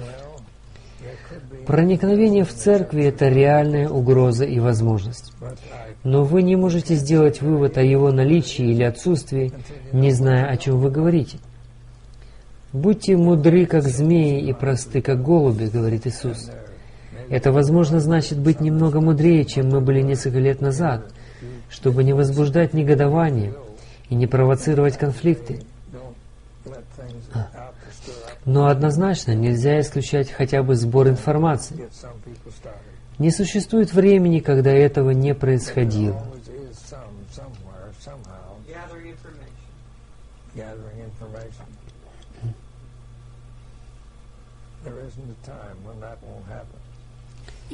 Если вы проведете некоторый обзор средств массовой информации, то вы обнаружите некоторую закономерность. Это касается не только газет. Вы обнаружите некоторые изменения даже в кинематографе. Много фильмов было снято, много статей написано, и много программ выпущено по радио и телевидению, много ток-шоу, которые обсуждают те же самые вопросы, которые я затронул в этих четырех частях моего свидетельства. Прежде эти вопросы не поднимались. Перед 1979 годом по этим вопросам абсолютно все хранили молчание. Ни один журналист не поднимал вопросы целебата, проблемы целебата, вопросы лесбиянства, вопросы геев среди священнослужителей, вопросы о мафии ее отношения со священниками, епископами и кардиналами, с коррупционированными священниками, о ситуации с международными банками и их связью с Ватиканом. Ни один из этих вопросов не обсуждался публично до того момента, как эти свидетельства вышли в свет. Затем журналистика и киноиндустрия начали обсуждать вопросы священников, которые порочат свою должность, вопросы кардиналов, которые не верны своему сану, вопросы священников, пользующихся служебным положением в греховных целях. Даже иезуиты были немедленно высланы для того, чтобы давать ответы на эти вопросы, но отвечать своеобразно и определенным способом. Это значит, что они не отрицали происходящее. Они признавали существование коррумпированных епископов, признавали связь кардиналов с мафией, признавали существование священников, неверных своему обету целебата, которые совершали гнусные дела и до сих пор совершают эти дела. Они признавали эти факты, но, видите ли, при этом сама церковь превозносилась. Суть и намерение их миссии было говорить католическому народу и христианскому миру. Да, это действительно происходило, но это были изолированные случаи. Это отдельные случаи, которые произошли где-то с епископом, где-то с кардиналом, где-то со священником. Они не сохранили свою верность, но дело совсем не в нашей религии, дело не в системе, дело не в нашем мировоззрении, дело не в нашей жизни, дело не в наших позициях. Вот что они говорили. Даже сегодня вы можете видеть иезуитов, например, Хемскам, как немецкие иезуиты, как Малакайс Мартин. Эти иезуиты наделены священными полномочиями. Это значит, что они имеют одобрение и власть Ватикана. И также иезуитского генерала идти и критиковать папу, критиковать литургию, критиковать священников, и при этом сама церковная система от этого отнюдь не пострадает. Эти люди могут выступать, говорить об этих э, больных вопросах, но при этом, несмотря на все это беззаконие, на всю эту безнравственность, на всю эту испорченность и разложение, на все эти преступления, церковь-мать или церковная система, как таковая, тут совсем ни при чем. Все связано с отдельными индивидуумами в священничестве, но никак не с системой. Но, безусловно, именно система создала всех этих людей. Были ли попытки в Соединенных Штатах создать такой особый взгляд на католицизм? О, да. Применялась ли подобная пропаганда? Безусловно. И по этой причине они и достигали таких больших успехов здесь, в Соединенных Штатах, в стране с чисто протестантским происхождением и наследием, и чисто христианскими ценностями, принятыми еще в 17 столетии, когда пилигримы прибыли на северо-восточное побережье этой страны. Но сегодня мы видим лидирующее положение Ватикана в Соединенных Штатах. Что это значит? Это значит, что произошла величайшая из всех известных миру измен и предательств в этой стране. Я имею в виду то прямое предательство и измену в этой стране, о которой свидетельствует тот факт, что ее правительство ищет связи и единства с самым большим преступником, причинившим самые массовые и жестокие страдания в Европе, о которых пилигримы и переплыли, от которых пилигримы и переплыли Атлантический океан, чтобы прибыть в Америку. Мы уже слышали о том, что Соединенные Штаты нарушат каждый из основных принципов Конституции. И я уверен, что этот момент истории Земли недалек. Вы знаете, что неотъемлемой частью папской политики является организация под названием Инквизиция, которая действовала в средние века и начала свою деятельность в XIII веке при правлении папы Винсенте III, который был самым из могущественных пап этого временного периода. Намерением Инквизиции был поиск ереси и устранение их, но методы были весьма неординарными. Один из методов было насильное принуждение некоторых христиан и целых общин отрекаться от своей веры, и эти отречения использовались для того, чтобы создать общественное мнение, которое оправдывало бы уничтожение чистых христианских церквей. Крестовые походы и расправы уничтожили миллионы людей. Мы не узнаем точного количества жертв до самого времени суда. Но католическая церковь сегодня признает существование инквизиции и соглашается с тем, что она уничтожала людей, но она ссылается на реалии того варварского времени, говоря о том, что другие поступали так же. И, безусловно, церковь заявляет, что она сегодня уже не та, и многие протестанты верят этим заявлениям. Но вы знаете, инквизиция все еще существует. Более того, она функционирует. Инструментами ее действий сегодня является верование многих церквей. Я хочу, чтобы вы послушали свидетельство доктора Ревиля, который расскажет нам об инквизиции нашего времени. В вашем обучении и в вашей жизни священника и иезуита приходили ли вы когда-либо к выводу о том, что вам могут повелеть убивать людей? Конечно, да. Клятва и присяга любого иезуита в начале их деятельности, и, возможно, вы уже знаете, что я об этом много написал в данном буклете после выпуска первого журнала моих свидетельств. Я также рассказываю об этом на своих больших и малых семинарах, когда затрагивается этот вопрос. В этом журнале под названием «Двойной крест» на одной из страниц вы можете увидеть часть клятвы и присяги, которую я принимал, обещая отнимать жизнь не только у царей и министров, правителей, э, мэров, сенаторов, конгрессменов, но даже и у моего отца, матери, брата, сестры и любого другого человека, который встанет между мной и интересами римской католической системы. Это значит, что даже если вы президент государства, и вы каким-то образом препятствуете исполнению целей римской католической церкви, ее стремлением и к власти, то вы можете быть убиты. Мне была дана эта власть и право, а также обязанность сделать это при необходимости. Любого человека, будь то ребенок, старик, женщина, мужчина, мальчик, девочка, король или королева, независимо от того, кем является человек, когда этот человек или этот город, этот народ, эта страна противодействует целям римского католицизма или просто препятствует достижению этих целей, тем самым этот человек или государство уже навлекают на себя беду.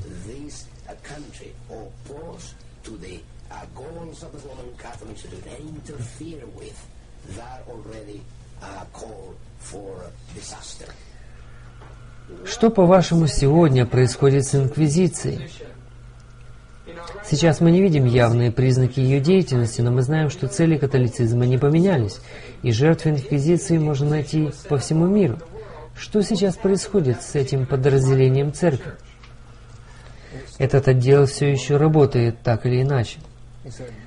Однажды адвентист спросил одного известного священника, «Если бы вы не были католиком, то кем бы вы стали?» Он ответил, «Если бы я не был католиком, то я стал бы адвентистом седьмого дня».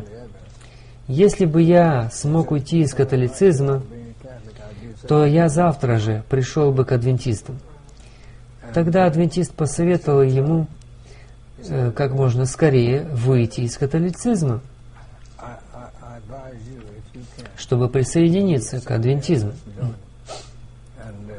Вскоре после этого, дело было весной, эти два приятеля выходили рано утром на улицу, чтобы идти на работу.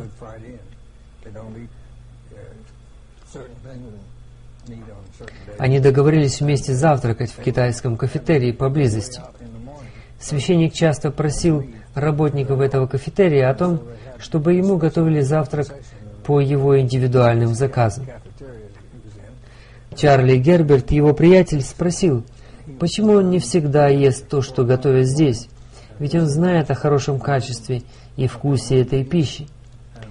Тот постоянно отшучивался, но старался не придерживаться какой-то закономерности в своих заказах. Однажды, когда он не съел и половины своего завтрака, три католических священника подозвали его к себе, чтобы в очередной раз э, передать ему инструкции о его действиях. Когда они ушли, Чарли Гербет посмотрел на него заинтересованным выражением лица. Священник сказал ему, «Ты не знаешь, что для меня значит эта связь с католицизмом. Я отправлюсь в ад за все, что делаю. Я был руководящим лицом в процессе наказания людей, которые не делали того, что от них ожидал католицизм. Если ты осмотришь большие католические храмы в Нью-Йорке, то в их подвалах ты найдешь специальные комнаты на краю зданий. Мне поручалось приводить людей э, в эти подвалы и работать с ними, чтобы они меняли свое мнение и курс действий. Стены в этих комнатах очень толстые. В этих стенах есть специальные ниши, в которых хранились тела пострадавших от моей деятельности. Ты не знаешь, Чарли, что для меня означает членство в католицизме. Я был главным палачом в этих процессах. О любых происшествиях в этой сфере я узнаю не больше, не позднее, чем через несколько дней. Я участвовал в этих трибуналах. И я сам через несколько дней могу оказаться перед таким трибуналом в Нью-Йорке. Когда они шли к поезду, он сказал, «Чарли, если я выживу после этого, я вышлю тебе открытку с поздравлениями с днем рождения».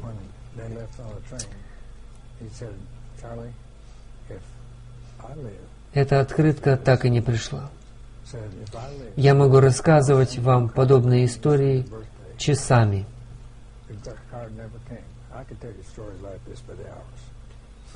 Итак, трибунал Инквизиции действует и относится только к католикам. Он действует также по отношению к другим людям, которые могут послужить препятствием в их работе.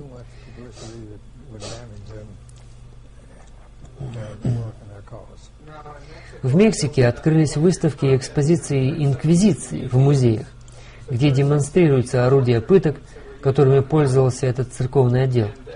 И если в таких странах, как Мексика и Испания, такие вещи ценятся и выставляются на показ, то что это значит? Деятельность инквизиции совершается даже в Америке. Я был в некоторых подвалах церковных храмов, где ведется подготовка к подобной деятельности – я слышал даже о тюремных камерах в этих подвалах. Там есть и камеры, и остальное оснащение для этой деятельности. От старой инквизиции осталось очень много. Я бы сказал, что в наши дни существует новая инквизиция, которая действует сегодня, а не просто готовится к завтрашнему дню. И действует здесь, даже в Соединенных Штатах. И так было всегда.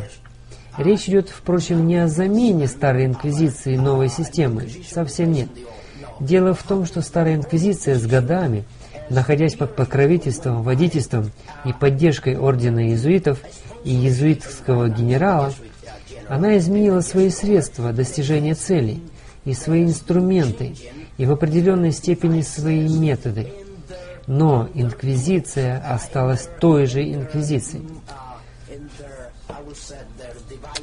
Святой офис никогда не закрывался на перерыв с тех пор, как он был учрежден в XIII веке. Деятельность постоянно совершается. Внутри Ватикана находится тот кабинет, который никогда не закрывается и не прекращает свою работу, действуя день и ночь. Сегодня этот кабинет имеет другое имя. Так получается, что сегодня Инквизиция имеет другое имя, другие механизмы и методы для того, чтобы судить людей и подавлять их. Сегодня методы работы более тонкие и невидимые. У меня с собой есть книга под названием «Ночная поездка из Рима», которую мы издали. Автор этой книги – один из последних католических священников из Соединенных Штатов, который принял Христа и принял Его Евангелие около двух лет назад. Он связался с нами после прочтения моего первого журнала моих свидетельств. Его зовут Кларбар Фил. Он был священником в Калифорнии. Вот эта книга «Ночное путешествие из Рима». Здесь вы найдете самые неприкрытые факты об Инквизиции в Соединенных Штатах. Автор был настолько знаком с деятельностью этой Инквизиции, что он по своей собственной воле и предусмотрительности принял меры к тому, чтобы его родственники, его собственные родственники, к примеру, его мать, вовремя не сообщили, куда нужно, чтобы предотвратить его отделение от католицизма – когда он был уже готов к тому, чтобы соединиться со своим Господом и Спасителем. И эта предусмотрительность была почти пророческой, потому что сразу же после его ухода были попытки его убить. Эти попытки были предприняты иезуитами из Рима и из Детройта, штат Мичиган. в чем участвовал римский католический доктор, член ордена рыцарей Колумба. Взгляните на реальность, и вы увидите, что инквизиция жива и действенна. Она использует другие инструменты, другие методы и даже другое имя. Сегодня они называются отделом сохранения учения и веры. Мы обучались многим различным вещам. Мы изучали химию, особенно связанную с ядами. Мы изучали военное искусство различных видов. И, безусловно, мы не должны участвовать в этом всем непосредственно. Позвольте объяснить. Иезуиты, прошедшие клятву посвящения, не должны напрямую участвовать в своих делах. Они призваны быть только интеллектуальной составляющей в подготовке различных планов. Возьмите, к примеру, покушение на жизнь Авраама Линкольна. Президент Линкольн был убит римскими иезуитами, но саму, саму работу совершал не иезуит. Иезуит подготовил этот план и подготовил свои, самих исполнителей этого покушения. Точно так же произошло и с президентом Кеннеди. Покушение на Кеннеди является еще одним фактом деятельности иезуитов, что можно легко доказать.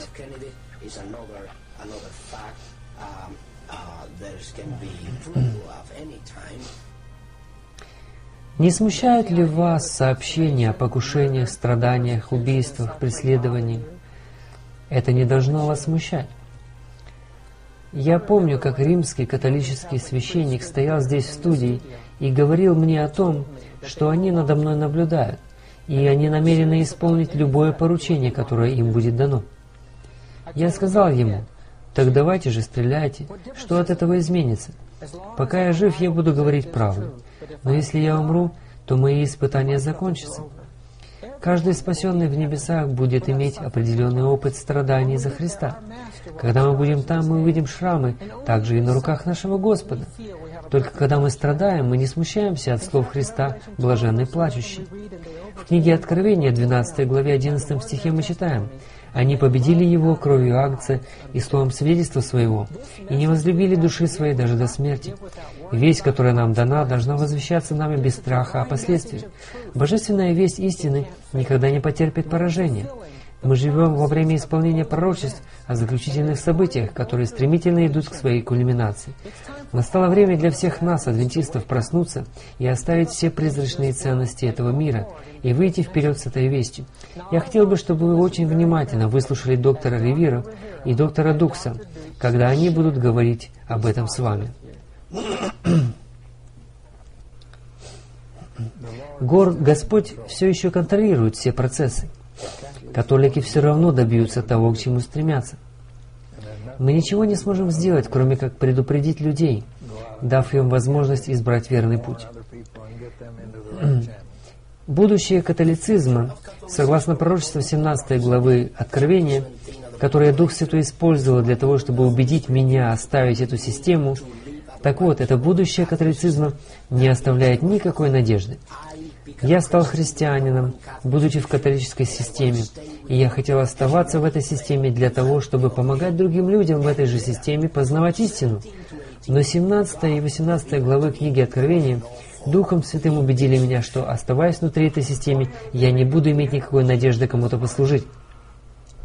Почему католики позволяют адвентистам достигать таких успехов? Потому что добрый Господь сам держит свою руку на этой церкви, управляя своим делом. Иначе все было бы решено уже давно, хотя это мое личное мнение. Но они имеют планы на адвентистскую церковь прямо сейчас. Их планы рассчитаны на то, чтобы мы сами себя ослабили. Основная вещь заключается в том, что римские католики призваны выходить из Вавилона. Это Божье повеление. «Выйди из нее, народ мой». Христианам же Бог говорит словами из послания Ефесянам, 5 глава, где ясно сказано «Не участвуйте в бесплодных делах тьмы, но и обличайте». Такова позиция христианина, и к этому ведет Дух Святой. Я бы сказал, что эти две вести являются самыми срочными для проповеданной в этом мире.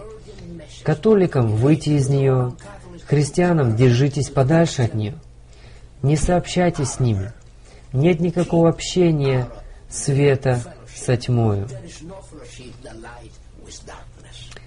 Седьмой день – это истинная суббота. Бог все еще во власти, и независимо от того, что происходит, и от того, что делает католическая церковь, что делают иезуиты, каковы их планы, Бог находится за занавесом всех событий, и Он с нами. Нам нечего бояться. Особая работа совершается с целью просочиться в церкви и религиозные учреждения, так же, как и в правительство. Эта работа включает в себя колоссальное число всевозможных учреждений. С какой целью совершается это проникновение? Целью является все та же цель, которую имеет Римская католическая церковь своей главной целью во все века – просочиться, проникнуть во все сферы жизни человечества, в которые римский католицизм может взять контроль и доступ к рычагам, при помощи которых он станет мировым правительством. Это значит, что в приготовлении к владычеству над миром римский католицизм создал орден иезуитов в 1541 году. В 1541 году и в течение почти 500 лет с тех пор они готовятся к этому, проникая и пропитывая все слои общества, чтобы взять власть над миром политическим и миром религиозным –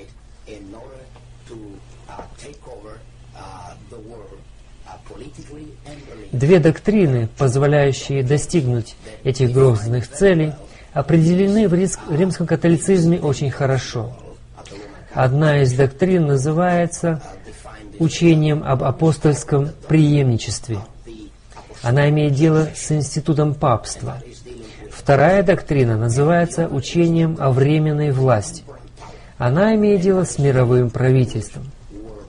Обе доктрины очень актуальны, Потому что, как вы видите, папа на своей должности соответствует требованиям обоих доктрин. Он не только является главой своей церкви, как он и называет себя словами Павла II, он называет себя пастором своей церкви. Но он не только пастырь церкви, он также является и главой своего государства, своей страны. Это значит, что он является главой политической единицы – Обе системы власти соединены в его лице. Говоря о пророчествах, мы как раз это и видим в книге Откровения, где постоянно политическая власть идет рука об руку с религиозной властью. Я был в Чикаго много лет назад.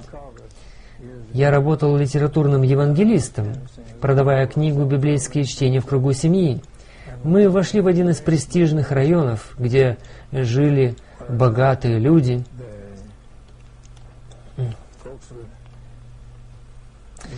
и начали там трудиться. Когда я постучал в одну дверь, мне открыл католик, как я был уверен. Я предложил ему книги, и он пригласил меня войти. Как только я зашел, этот человек закрыл за мной дверь на ключ. Я спросил, зачем это нужно. Он открыл другую дверь в большую комнату для переговоров, после которой была большая столовая комната, разделявшая с этой кабинетом, с этим кабинетом двойной дверью. В этой комнате совершалась большая работа. Собравшиеся были из Нью-Йорка и других районов Америки. Они планировали проведение совместной конференции и Евхаристии в Чикаго, похожие на те, которые проводились в 30-е годы. Они стали общаться со мной, уговаривая меня присоединиться к ним, предлагая мне всякие возможности и преимущества, о которых вы только можете мечтать. Мне предлагали все, включая возможности заниматься научной работой. Они рассказывали мне о преимуществах принадлежности к католической церкви, а также о своих планах на Америку, о своих стратегиях работы здесь. Они говорили о той работе, которая уже была проведена в Америке и которая приведет к такому положению вещей, при котором эта страна никак не сможет избежать их контроля и перехода под их власть или юрисдикцию. Я спросил их о том, как они собираются завоевать юг страны, ведь там живут по большей части протестанты. Мне ответили, что юг будет усеян католическими семьями. Когда католики будут заключать браки с протестантами, их дети вырастут католиками, и спустя короткое время доля католиков будет увеличиваться сначала до одной четверти, потом до половины, а после достижения католиками половины населения Америки эта страна станет католической. Таков только один из методов, который применяется католиками. Мне сказали о наличии и других способов достижения этой цели. Я спросил, что будет, если люди об этом узнают, и если протестантам станут известны ваши планы. Мне ответили, что это может привести даже к силовому противостоянию. Я спросил у них об их готовности к этому противостоянию. Мне поведали о наличии военной силы, о наличии и готовности надлежащих сил и средств к действию. Мне говорили о готовности к захвату власти и призывали подумать о возможности перейти на нужную сторону прямо сейчас. Я ответил им, что ничего не может склонить меня к принятию католической веры. Абсолютно ничего. Я ответил, что моя семья идет в Царство Небесное, и я также устремляюсь туда. Я также поделился уверенностью о предстоящей вечной погибели папской системы и тем, что этой системы в вечности не будет. Поэтому я очень осторожно отношусь к тому, на какой я стороне. Я попросил открыть двери и выпустить меня, поскольку я здесь был не один, и мои сотрудники знают, что я где-то здесь на случай моих розысков. Один из важных персон с шляпой кардинала встал и сказал, «Сэр, мы выпустим вас. Но мы желали бы сказать вам еще кое-что. Каждый человек, родившийся в США и родившийся не католиком, занесен в нашу картотеку. Его данные записаны на белой карточке до тех пор, пока мы не решим наблюдать за ним. В последнем случае он, заносит, он заносится в синюю карту. Если же мы приходим к выводу о нецелесообразности вашего существования, вы заноситесь в красную карту, и вы на всю жизнь остаетесь в красной карте. Я знаю, что меня знали и за мной следили всю мою жизнь, и следят до сих пор. Я могу рассказать вам много историй, но ограничимся только этой.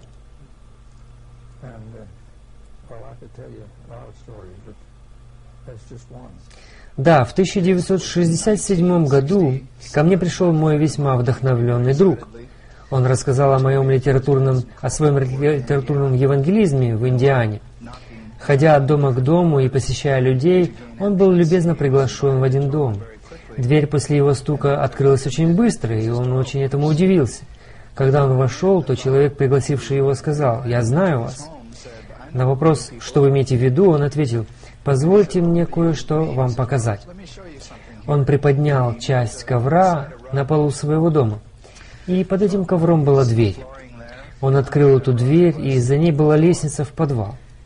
Хозяин дома сказал, «Я желаю вам кое-что показать». Они спустились, в подвал. Там хозяин дома показал большие ящики с картотекой. Смотря на эти ящики, гость спросил, «Для чего они здесь?» В ответ хозяин сказал, «Мы знаем, кто вы такой, и я хочу спросить у вас. Назовите мне любое имя любого человека, который ходит в вашу церковь». Гость назвал имя одной из своих знакомых девушек. Хозяин дома подошел к одному из ящиков, вытащил документы с названным именем и рассказал о том, что названный человек был крещен такого-то числа, является членом такой-то церкви и так далее. Мой приятель широко открыл глаза и спросил, что все это значит? Как вам удалось собрать всю эту информацию? Хозяин сказал о своей принадлежности к католической церкви, к особому ордену этой церкви, и о том, что все люди по всей стране занесены в такие картотеки. Мы знаем, кто вы, и мы имеем более подробные сведения о вас, чем вы можете иметь о себе сами. Я просто хотел рассказать вам об этом, чтобы вы знали о наших возможностях. Мой друг в тот день, как покинул этот дом, тот дом, уже не смог продавать книги в тот день. Но я думаю, что как личность он уже стал более серьезно задумываться о том, что происходит. Я всегда была открытой по отношению к людям, с которыми связана по жизни. Я открыта даже друзьям, не говоря уже о муже. И я была такой весь период своей совместной жизни с этим человеком. Но он был не таким. Отсутствовал ли он долгий период времени? Да, отсутствовал. Он уезжал порой на три или четыре месяца каждый год, а порой на более короткий срок. Но его отсутствие длилось не меньше шести недель. Он очень гневался, когда уезжал. Он говорил, что и очень не хотел. Я расстраиваю его, когда спрашиваю о его отъезде и о причинах нашего расставания. Он говорил, что тоже очень расстроен нашей разлукой, но ему нужно уехать. Я позже поняла, что он был не против такого образа жизни. Это было средством манипулирования вами? Да, это правда. Проявлял ли он сожаление об этом образе жизни? Не думаю. Он относился к нему как к работе. Наши близкие соседи, жившие через дорогу, знали моего мужа и знали его долгие годы. И когда мы с Джо решили повенчаться, он пытался общаться с ними. Но я не знаю, рассказывал ли он им то, что не рассказывал мне.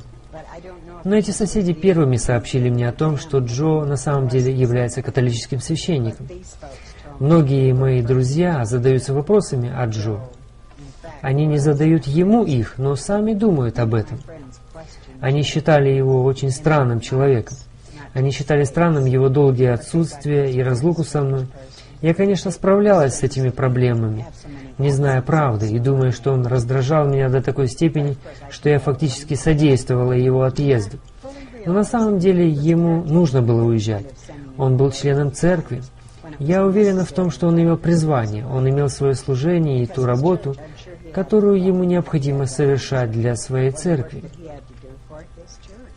Когда обрели вы уверенность в том, что вы замужем за человеком, который является католическим священником? Когда он в итоге убедил меня в необходимости повенчаться в его церкви? Я уже принадлежала церкви адвентистов седьмого дня. Думаю, что на тот момент я как раз и приняла крещение в этой церкви. Но я чувствовала, что, вероятно, было бы разумным повенчаться с ним в католической церкви.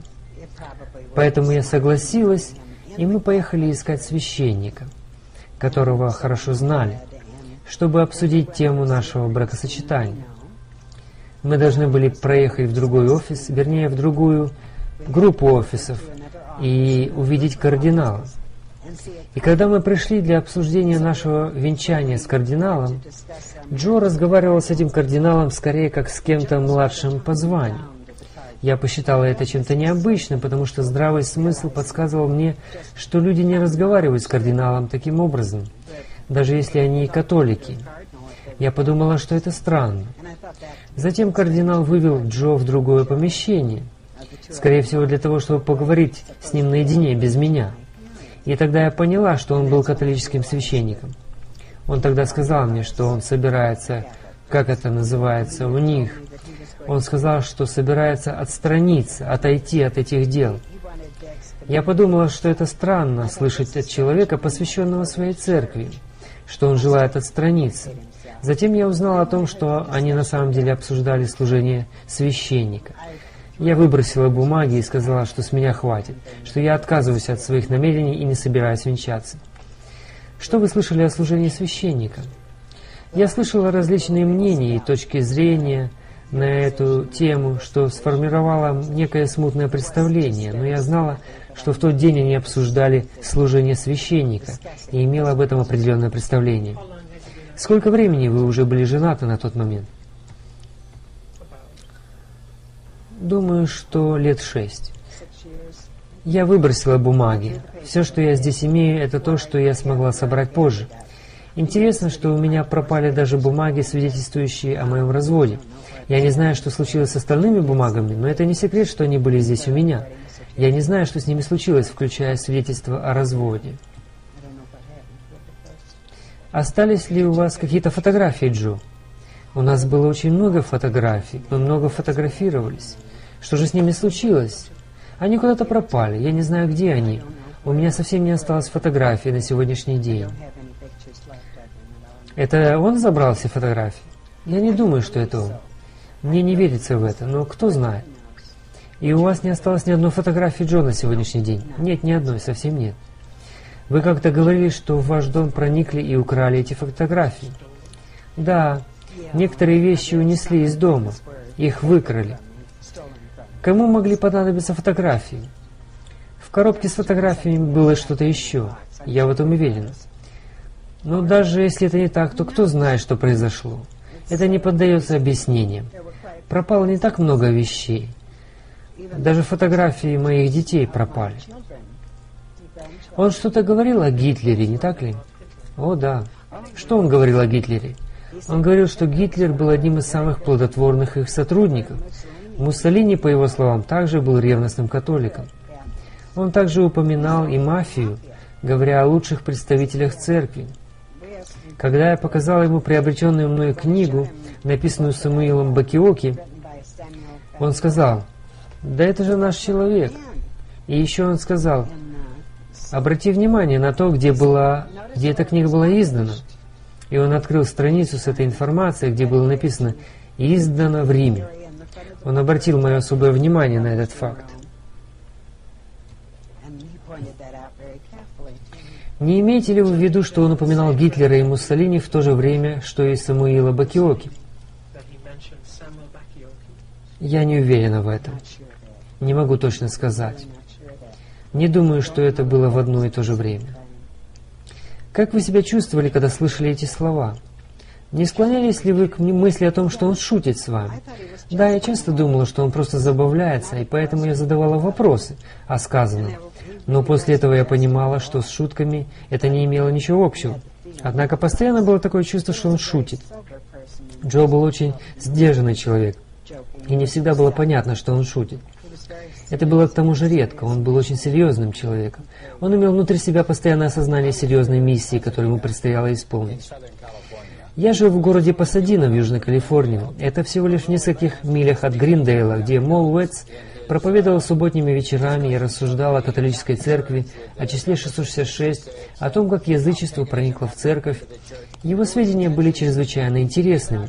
Даже сегодня я вижу исполняющимися некоторые его предположения. Он имел с собой распечатанные схемы и рисунки, которые он скопировал из своих публикаций и раздавал людям. Я знаю, что он провел большое исследование – когда он вернулся в семинарию, он взялся за изучение связи, связи между числом 666 и Римской католической церковью. Когда он пошел в семинарию, некоторые там говорили, «Мы знаем, что среди нашего персонала присутствуют иезуиты, и мы полагаем, что нам известно, кто это». Спустя короткое время Мол также говорил, что ему известен ответ на этот вопрос. Однако он продолжал свое исследование. Он собирал сведения из книг, которые были напечатаны в Риме католической церкви, и эти сведения он имел на своих копиях, которые раздавал. В самый разгар своего исследования он взял образцы этого изумительного материала и принес их к одному из лидеров семинарии в Вашингтоне, чтобы показать результаты своих исследований. Руководитель семинарии, даже несмотря на эти бумаги, сказал, «Брат Уэтс, это исследование не для вас». Но взгляните на то, что я нашел. Это все правда, это доказано. Вот фотографии, вот оригиналы текстов. Нет никаких сомнений. В ответ он услышал то же самое. «Брат Уэтс, этот материал и этот предмет не для вас». Он был очень расстроен. Он пошел к своему ректору, который был профессором истории, и показал ему свои находки. Профессор пожелал ему написать статью об этом. Но Уэтс сказал, к сожалению, в разговоре с таким-то и таким-то руководителем, назвал его имя, мне было сказано, что мне запрещается продолжать изучение этой темы, поэтому я не осмеливаюсь написать об этом статью. Спустя время некоторые из его друзей сказали ему, что если он не изменит тему своих исследований, то он никогда не кончит этот университет. Его ректор также сказал об этом. Поэтому он изменил тему на менее острую и насущную. Наконец пришло время для выпуска Мола из этой семинарии. Обстоятельства сложились так, что этот руководитель был вызван в Европу на год, и в течение этого года Мол был выпущен. Поэтому издал свои статьи. После этого данный руководитель умер. И его самый близкий друг однажды разговаривал с доктором Молом и сказал, «Я точно знаю, что этот руководитель был иезуитом, потому что я был ему близким другом, и я знаю об этом точно. Мол был хорошим студентом. Я вспомнил о нем, когда услышал аудиозапись его выступления и узнал его голос. Это был волнующий опыт. Я рад был услышать снова его голос, потому что я с радостью слушал его выступление. Он хорошо учился, имел хорошие манеры, был настоящим ученым. Он, несомненно, был большим приобретением для этого общества. Предмет проникновения иезуитов в протестантские церкви, когда бы этот вопрос не поднимался, он часто игнорируется, отклоняется и замалчивается при первом же своем появлении.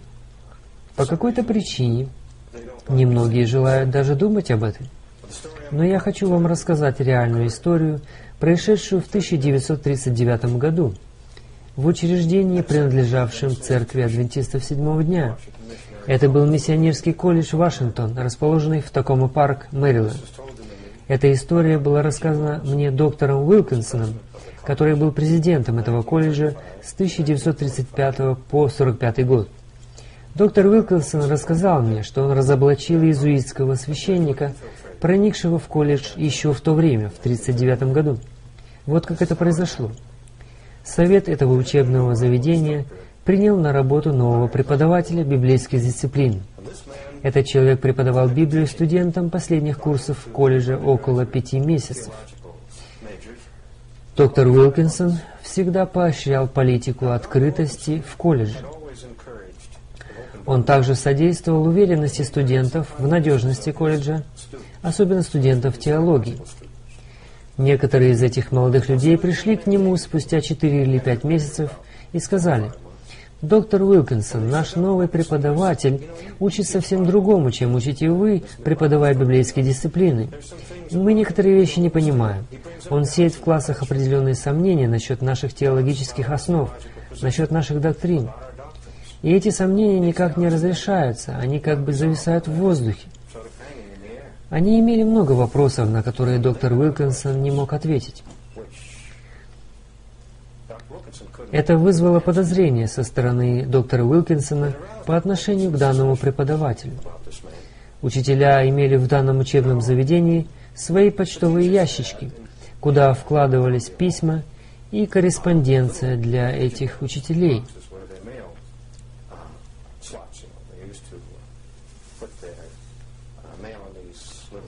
Работники факультета приходили и забирали свои письма из этих ящиков. Однажды утром Уилкинсон увидел конверт в ящике нового библейского учителя. Письмо было довольно объемным, прямоугольной формы. Оно было похоже на письмо какой-то организации. Когда почтальон окончил сортировку писем и вышел, Доктор Уилкинсон взял это письмо из ящика. Взглянув на него, он обнаружил, что обратный адрес принадлежал одному колледжу, который был иезуитским колледжем. Этот колледж был недалеко от миссионерского колледжа в Вашингтон. Он взял это письмо и открыл его. Это, безусловно, было незаконным действием. Но когда речь идет об иезуитском ордене, то мы знаем о многочисленных беззакониях этой организации, совершенных в свое время. Покушения на царей и государственных деятелей были далеко не самыми большими в этом списке. Иезуитский орден имеет девиз «Цель оправдывает средства». Уилкинсон в данном случае решил открыть это письмо. Он решил, что если в этом письме не будет ничего подозрительного, то он снова закроет его и положит на место. Но открыв письмо, он нашел внутри него распоряжения и инструкции от вышестоящего лица для этого преподавателя, в которых ему говорилось о методах и предметах проповедования и обучения в своих классах библейских дисциплин на предстоящие несколько месяцев. Доктор Уилкинсон забрал письмо, пошел к себе в кабинет и вызвал к себе этого учителя. Он сказал преподавателю – у меня на столе письмо для вас. Возьмите его. Мы знаем, кто вы, и мы знаем, для чего вы здесь. Вы иезуит. Не правда ли?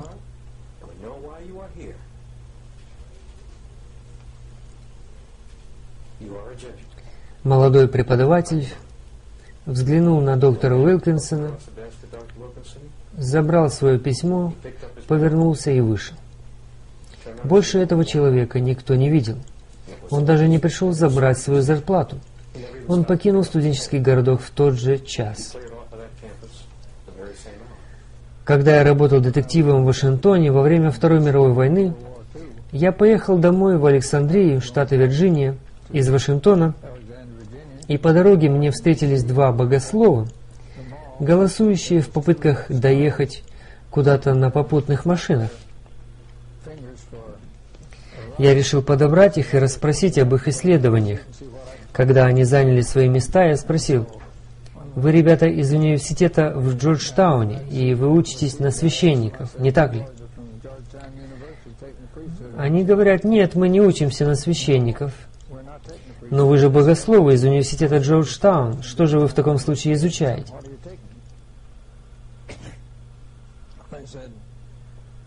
Они говорят, мы англиканские братья. Я говорю, в церкви нам никогда не рассказывали об англиканской церкви. Я немного знаю о них. Мне интересно, чем они занимаются и для чего они существуют. Они говорят, мы изучаем методы работы с протестантскими церквями, чтобы помочь им понять, чего от них требует Вселенская Церковь, чтобы они могли сотрудничать с ней и она с ними.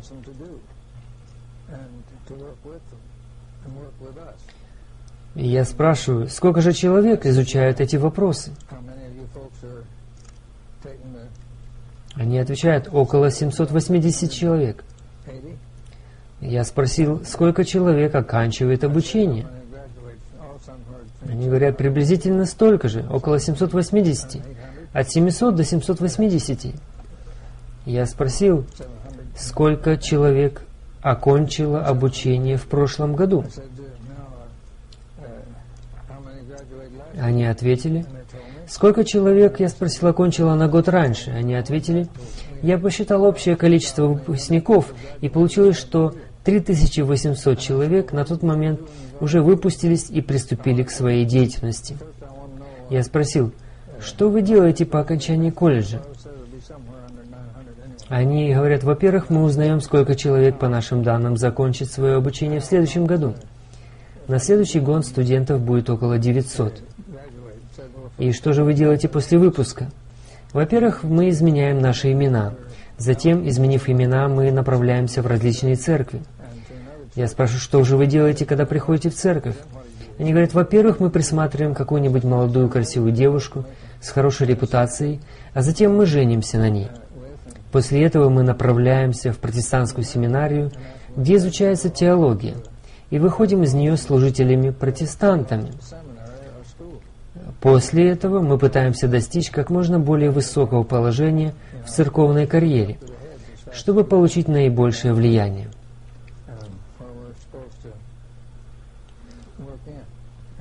Я спросил, все ли вы работаете в одной и той же местности? Э, они говорят, нет, но мы все проникаем в церковь, чтобы получить возможность управлять церковными процессами и таким образом направить церкви в нужное русло. Итак, эти студенты были римскими католиками.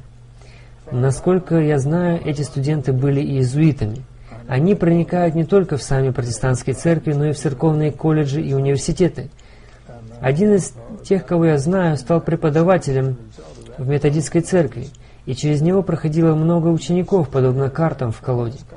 Они не брезгуют никем и ничем, чтобы достичь своих целей.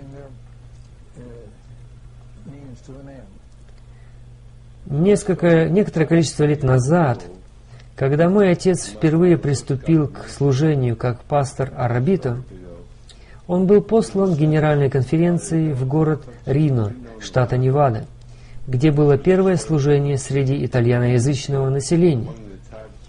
К тому времени некоторые люди мигрировали с восточных районов и заселили Запад, особенно район города Рино, Поэтому была нужда отправить туда молодого служителя. Мой отец проявил готовность и желание посвятить свое время и силы этому служению, как мой молодой служитель. Он был послан в Рино, Невада. Оттуда его послали согласно с нуждой, возникшей после этого, когда у него в общине уже было 40 или 50 человек, нужда в таком служителе появилась в Сан-Франциско.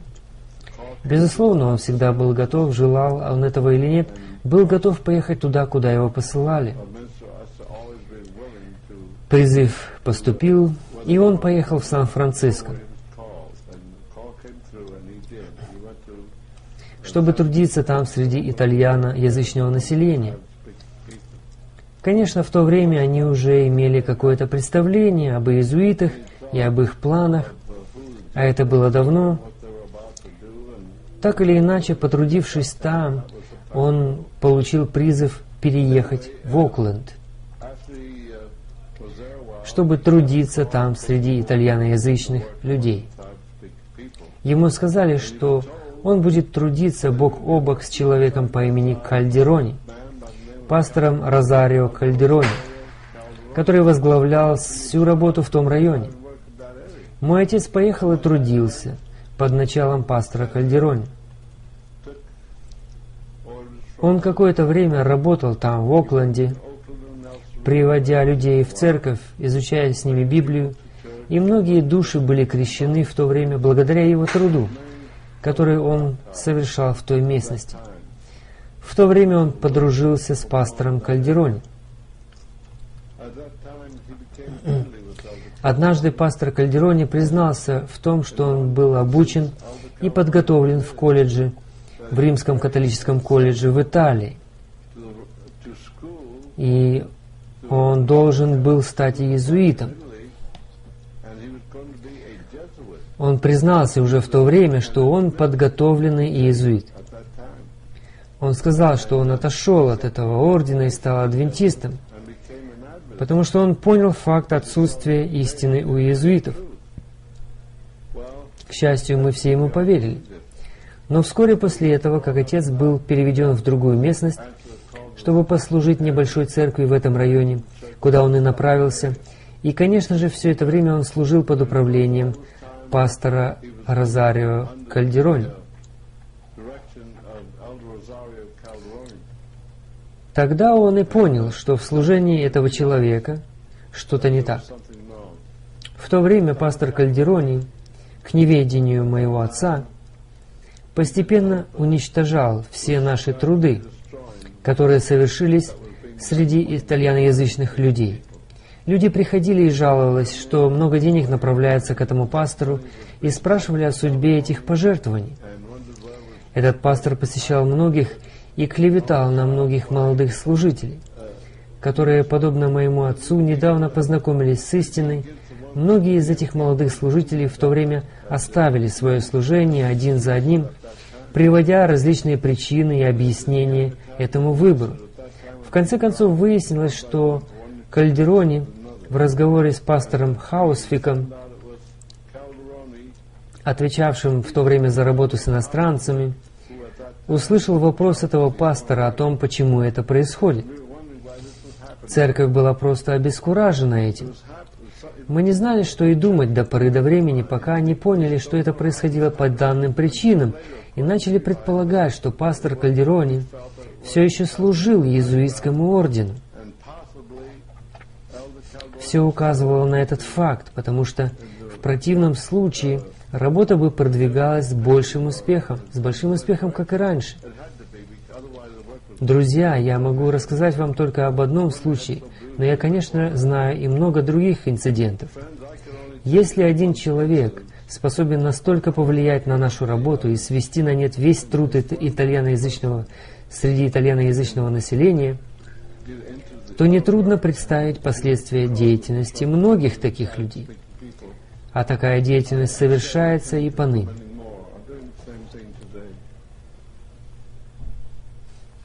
Это был мой отец Джон Арбида, который был отстранен от служения в результате деятельности иезуитов в церкви адвентистов седьмого дня. Адвентистам нужно пробудиться, время коротко.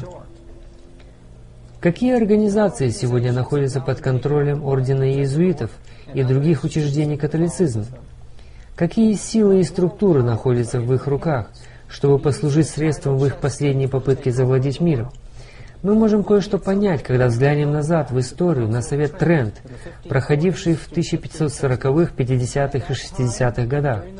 В течение тех лет были разработаны клятвы и присяги, которые применялись в этих секретных орденах, чтобы взять под контроль систему образования протестантов – чтобы контролировать их учебное заведение, церкви, а особенно чтобы уничтожить авторитет Библии созданием огромного количества переводов, уничтожить европейскую монархию, уничтожить национализм, чтобы создать новые календари с использованием астрономии и астрологии, которые в конечном итоге лишат субботу ее святости и перенесут эту святость на воскресенье. Они также собирались завладеть миром бизнеса, интернациональными взаимоотношениями. Они намерены завладеть системой банков, завладеть иудаизмом, завладеть движением сионизма. Они желают создавать политические противостояния, хаос, и все это с одной единственной целью, с целью мировой власти католицизма. Послушайте следующее. Я обучал и подготавливал людей в различных иезуитских организациях, таких как «Синяя армия» и другие организации специального назначения.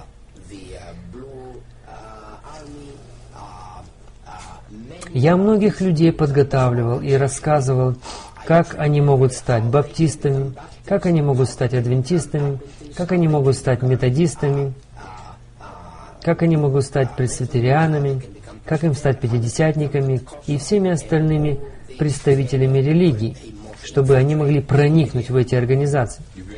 Я бы хотел задать вопрос, и думаю, что для этого как раз настало время. Не имеет ли организация «Синяя армия» какое-то отношение к организации под названием «Фатима»? Да, это верно. Синяя армия содействовала развитию этого культа, этого сатанинского культа здесь, в Соединенных Штатах.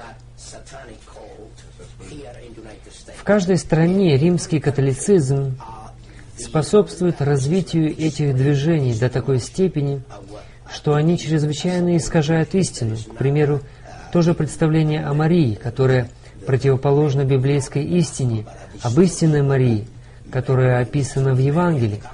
Католики открывают перед подобными организациями путь для развития и роста. Синяя армия больше всего содействовала развитию культа, исказившего истину о Марии здесь, в Соединенных Штатах.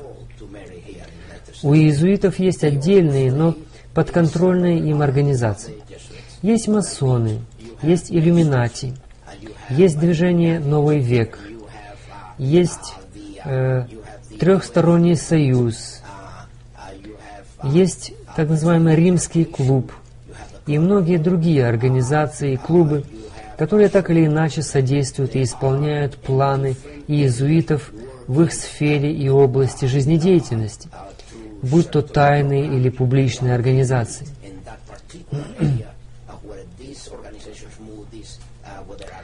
Иезуиты нуждаются в контроле различных областей, сфер и людей, и таким образом они подготавливаются к установлению тотального контроля с помощью этих организаций. Помимо этой задачи, они имеют планы на установление того, что они называют христианской демократией. Эта система отношений – еще одно детище организации под названием «апустеи». Данное слово происходит от латыни.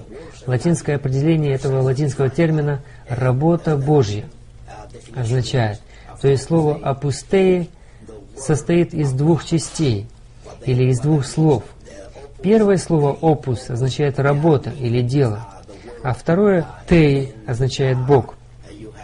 Получается «опус теи» дело Божье. Совет Трент в свое время был проведен под контролем иезуитов, да. Как насчет Ватикана-2? Есть ли между этими советами какая-то связь? Да, связь весьма и весьма пророческая. Я был на этом событии, и я думаю, что тут нет ничего загадочного. Эта связь настолько пророческая, что когда состоялся Совет Трент, это был первый совет, которым управлял Орден иезуитов – Совет в Ватикане проводился тем, сам, тем же самым орденом иезуитов с тем же самым намерением. С таким же намерением. Вы знаете намерение и цель Совета Тренд. Целью Совета Тренд была контрреформация. Но каким было намерение Совета Ватикана II?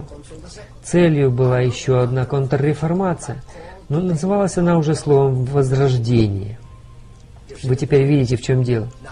Изменению подверглось имя, но намерение осталось прежним.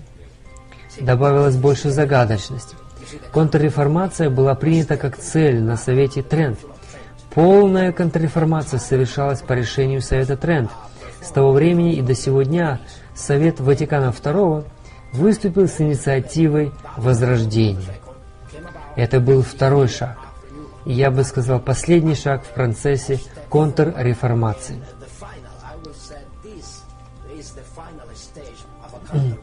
А как насчет харизматического движения? Какая с ним есть связь? Харизматическое движение служит не одному, а нескольким намерениям и планам. Мы уже говорили о движении в пользу смещения субботы на воскресенье и о том, что различные деноминации имеют дело с какими-то конкретными вопросами. Харизматическое движение играет свою роль, потому что оно используется по одной причине. Иезуитам нелегко было работать с пятидесятническими деноминациями. Это был крепкий орешек. Даже несмотря на то, что пятидесятникам предлагалось участвовать в экономическом движении еще со времен Второй мировой войны, поскольку это движение началось еще тогда, Весь, ведь Всемирный Совет Церквей начал свое существование при поддержке иезуитов в Европе в 1945 году, после окончания Второй мировой войны, или во время ее окончания. Уже тогда иезуиты неустанно трудились для объединения всех протестантов Европы. И эта деятельность привела к созданию Всемирного Совета Церквей и Экуменического движения. Сегодня харизматическое движение служит этим целям. Пятидесятники, которых трудно было привлечь к экуменическому диалогу, уже привлечены к нему посредством так называемых харизматических даров. Мы были в Лондоне в аэропорту и видели там человека в униформе, которую носят католические священники. Он вел себя не так, как мы привыкли видеть дружелюбных и добрых священников. Он вел себя очень загадочно и странно. Люди чувствовали это. Я не надеялся увидеть его снова. Но в Балтиморе, в аэропорту, в месте получения багажа, я обернулся и увидел его рядом со мной. Я повернулся к нему и сказал, «Здравствуй, приятель. Вы иезуит, не так ли?» Он ответил, «Да», с большой улыбкой на лице, показав все свои зубы. Он был очень доволен собой. Я спросил, «Послушайте, я очень интересуюсь иезуитами, я читал кое-что о них. Что вы думаете о так называемом Совете Трент? Для чего он был создан? Что вы думаете о проникновении иезуитов в протестантизм, об их деятельности посредством таких организаций, как Иллюминати, о теории футуризма, о тайном плане захвата контроля над протестантскими церквями? Я задал ему много вопросов и увидел своего рода метаморфозу в его поведении. Мгновенно его лицо стало грубым, улыбка куда-то делась. Он взглянул мне прямо в глаза и сказал, «Вы кое-что уже знаете, не так ли?» Он не ожидал таких вопросов. Я сказал ему, что я один из протестантов, которые серьезно задумались над этим. Он увидел меня осведомленного в некоторых вещах, и поэтому он мог представить себе и других протестантов, которым известно многое и которые не собираются молчать. Эта ситуация была просто изумительной. Изменение в его поведении и выражении лица свидетельствовало о том, что он считал себя находящимся в полной безопасности, и вдруг он понял, что их секреты и тайны – совсем не являются недосягаемыми для других. Я этого никогда не забуду. Считаете ли вы орден иезуитов так называемым тайным обществом? Да, это общество можно считать тайным обществом с той точки зрения, что орден иезуитов, вернее то, что вы и остальные люди о нем знают, не является подлинной информацией и подлинным орденом иезуитов. Это значит, что даже не все иезуиты в самом ордене иезуитов – знают все секреты и тайные планы, которые существуют в тайных обществах их тайного ордена. Спиритизм и папство связаны друг с другом теснее, чем ваши два пальца на руке. Что можно сказать о культе под названием Фатима? Этот культ, поддерживаемый римским католицизмом, по всем признакам сегодня проявляет негативизм по отношению к католической церкви. Они называют папу, который сегодня у власти, антихристом. Дело в том, что сатана пытается привлечь как можно больше людей на свою сторону. И особого успеха он достигает, создавая что-то новое. Он способствует созданию различных новых культов и обществ. Вот почему вы наблюдаете такое большое количество церквей, культов и тому подобного. Если он не может привлечь человека в одно общество, он привлекает его в другое. И самым эффективным его инструментом является телевидение – Сатана управляет всеми этими разнообразными организациями. Католическая церковь самая развитая и большая из них. У него также есть и другие, чтобы содействовать его планам.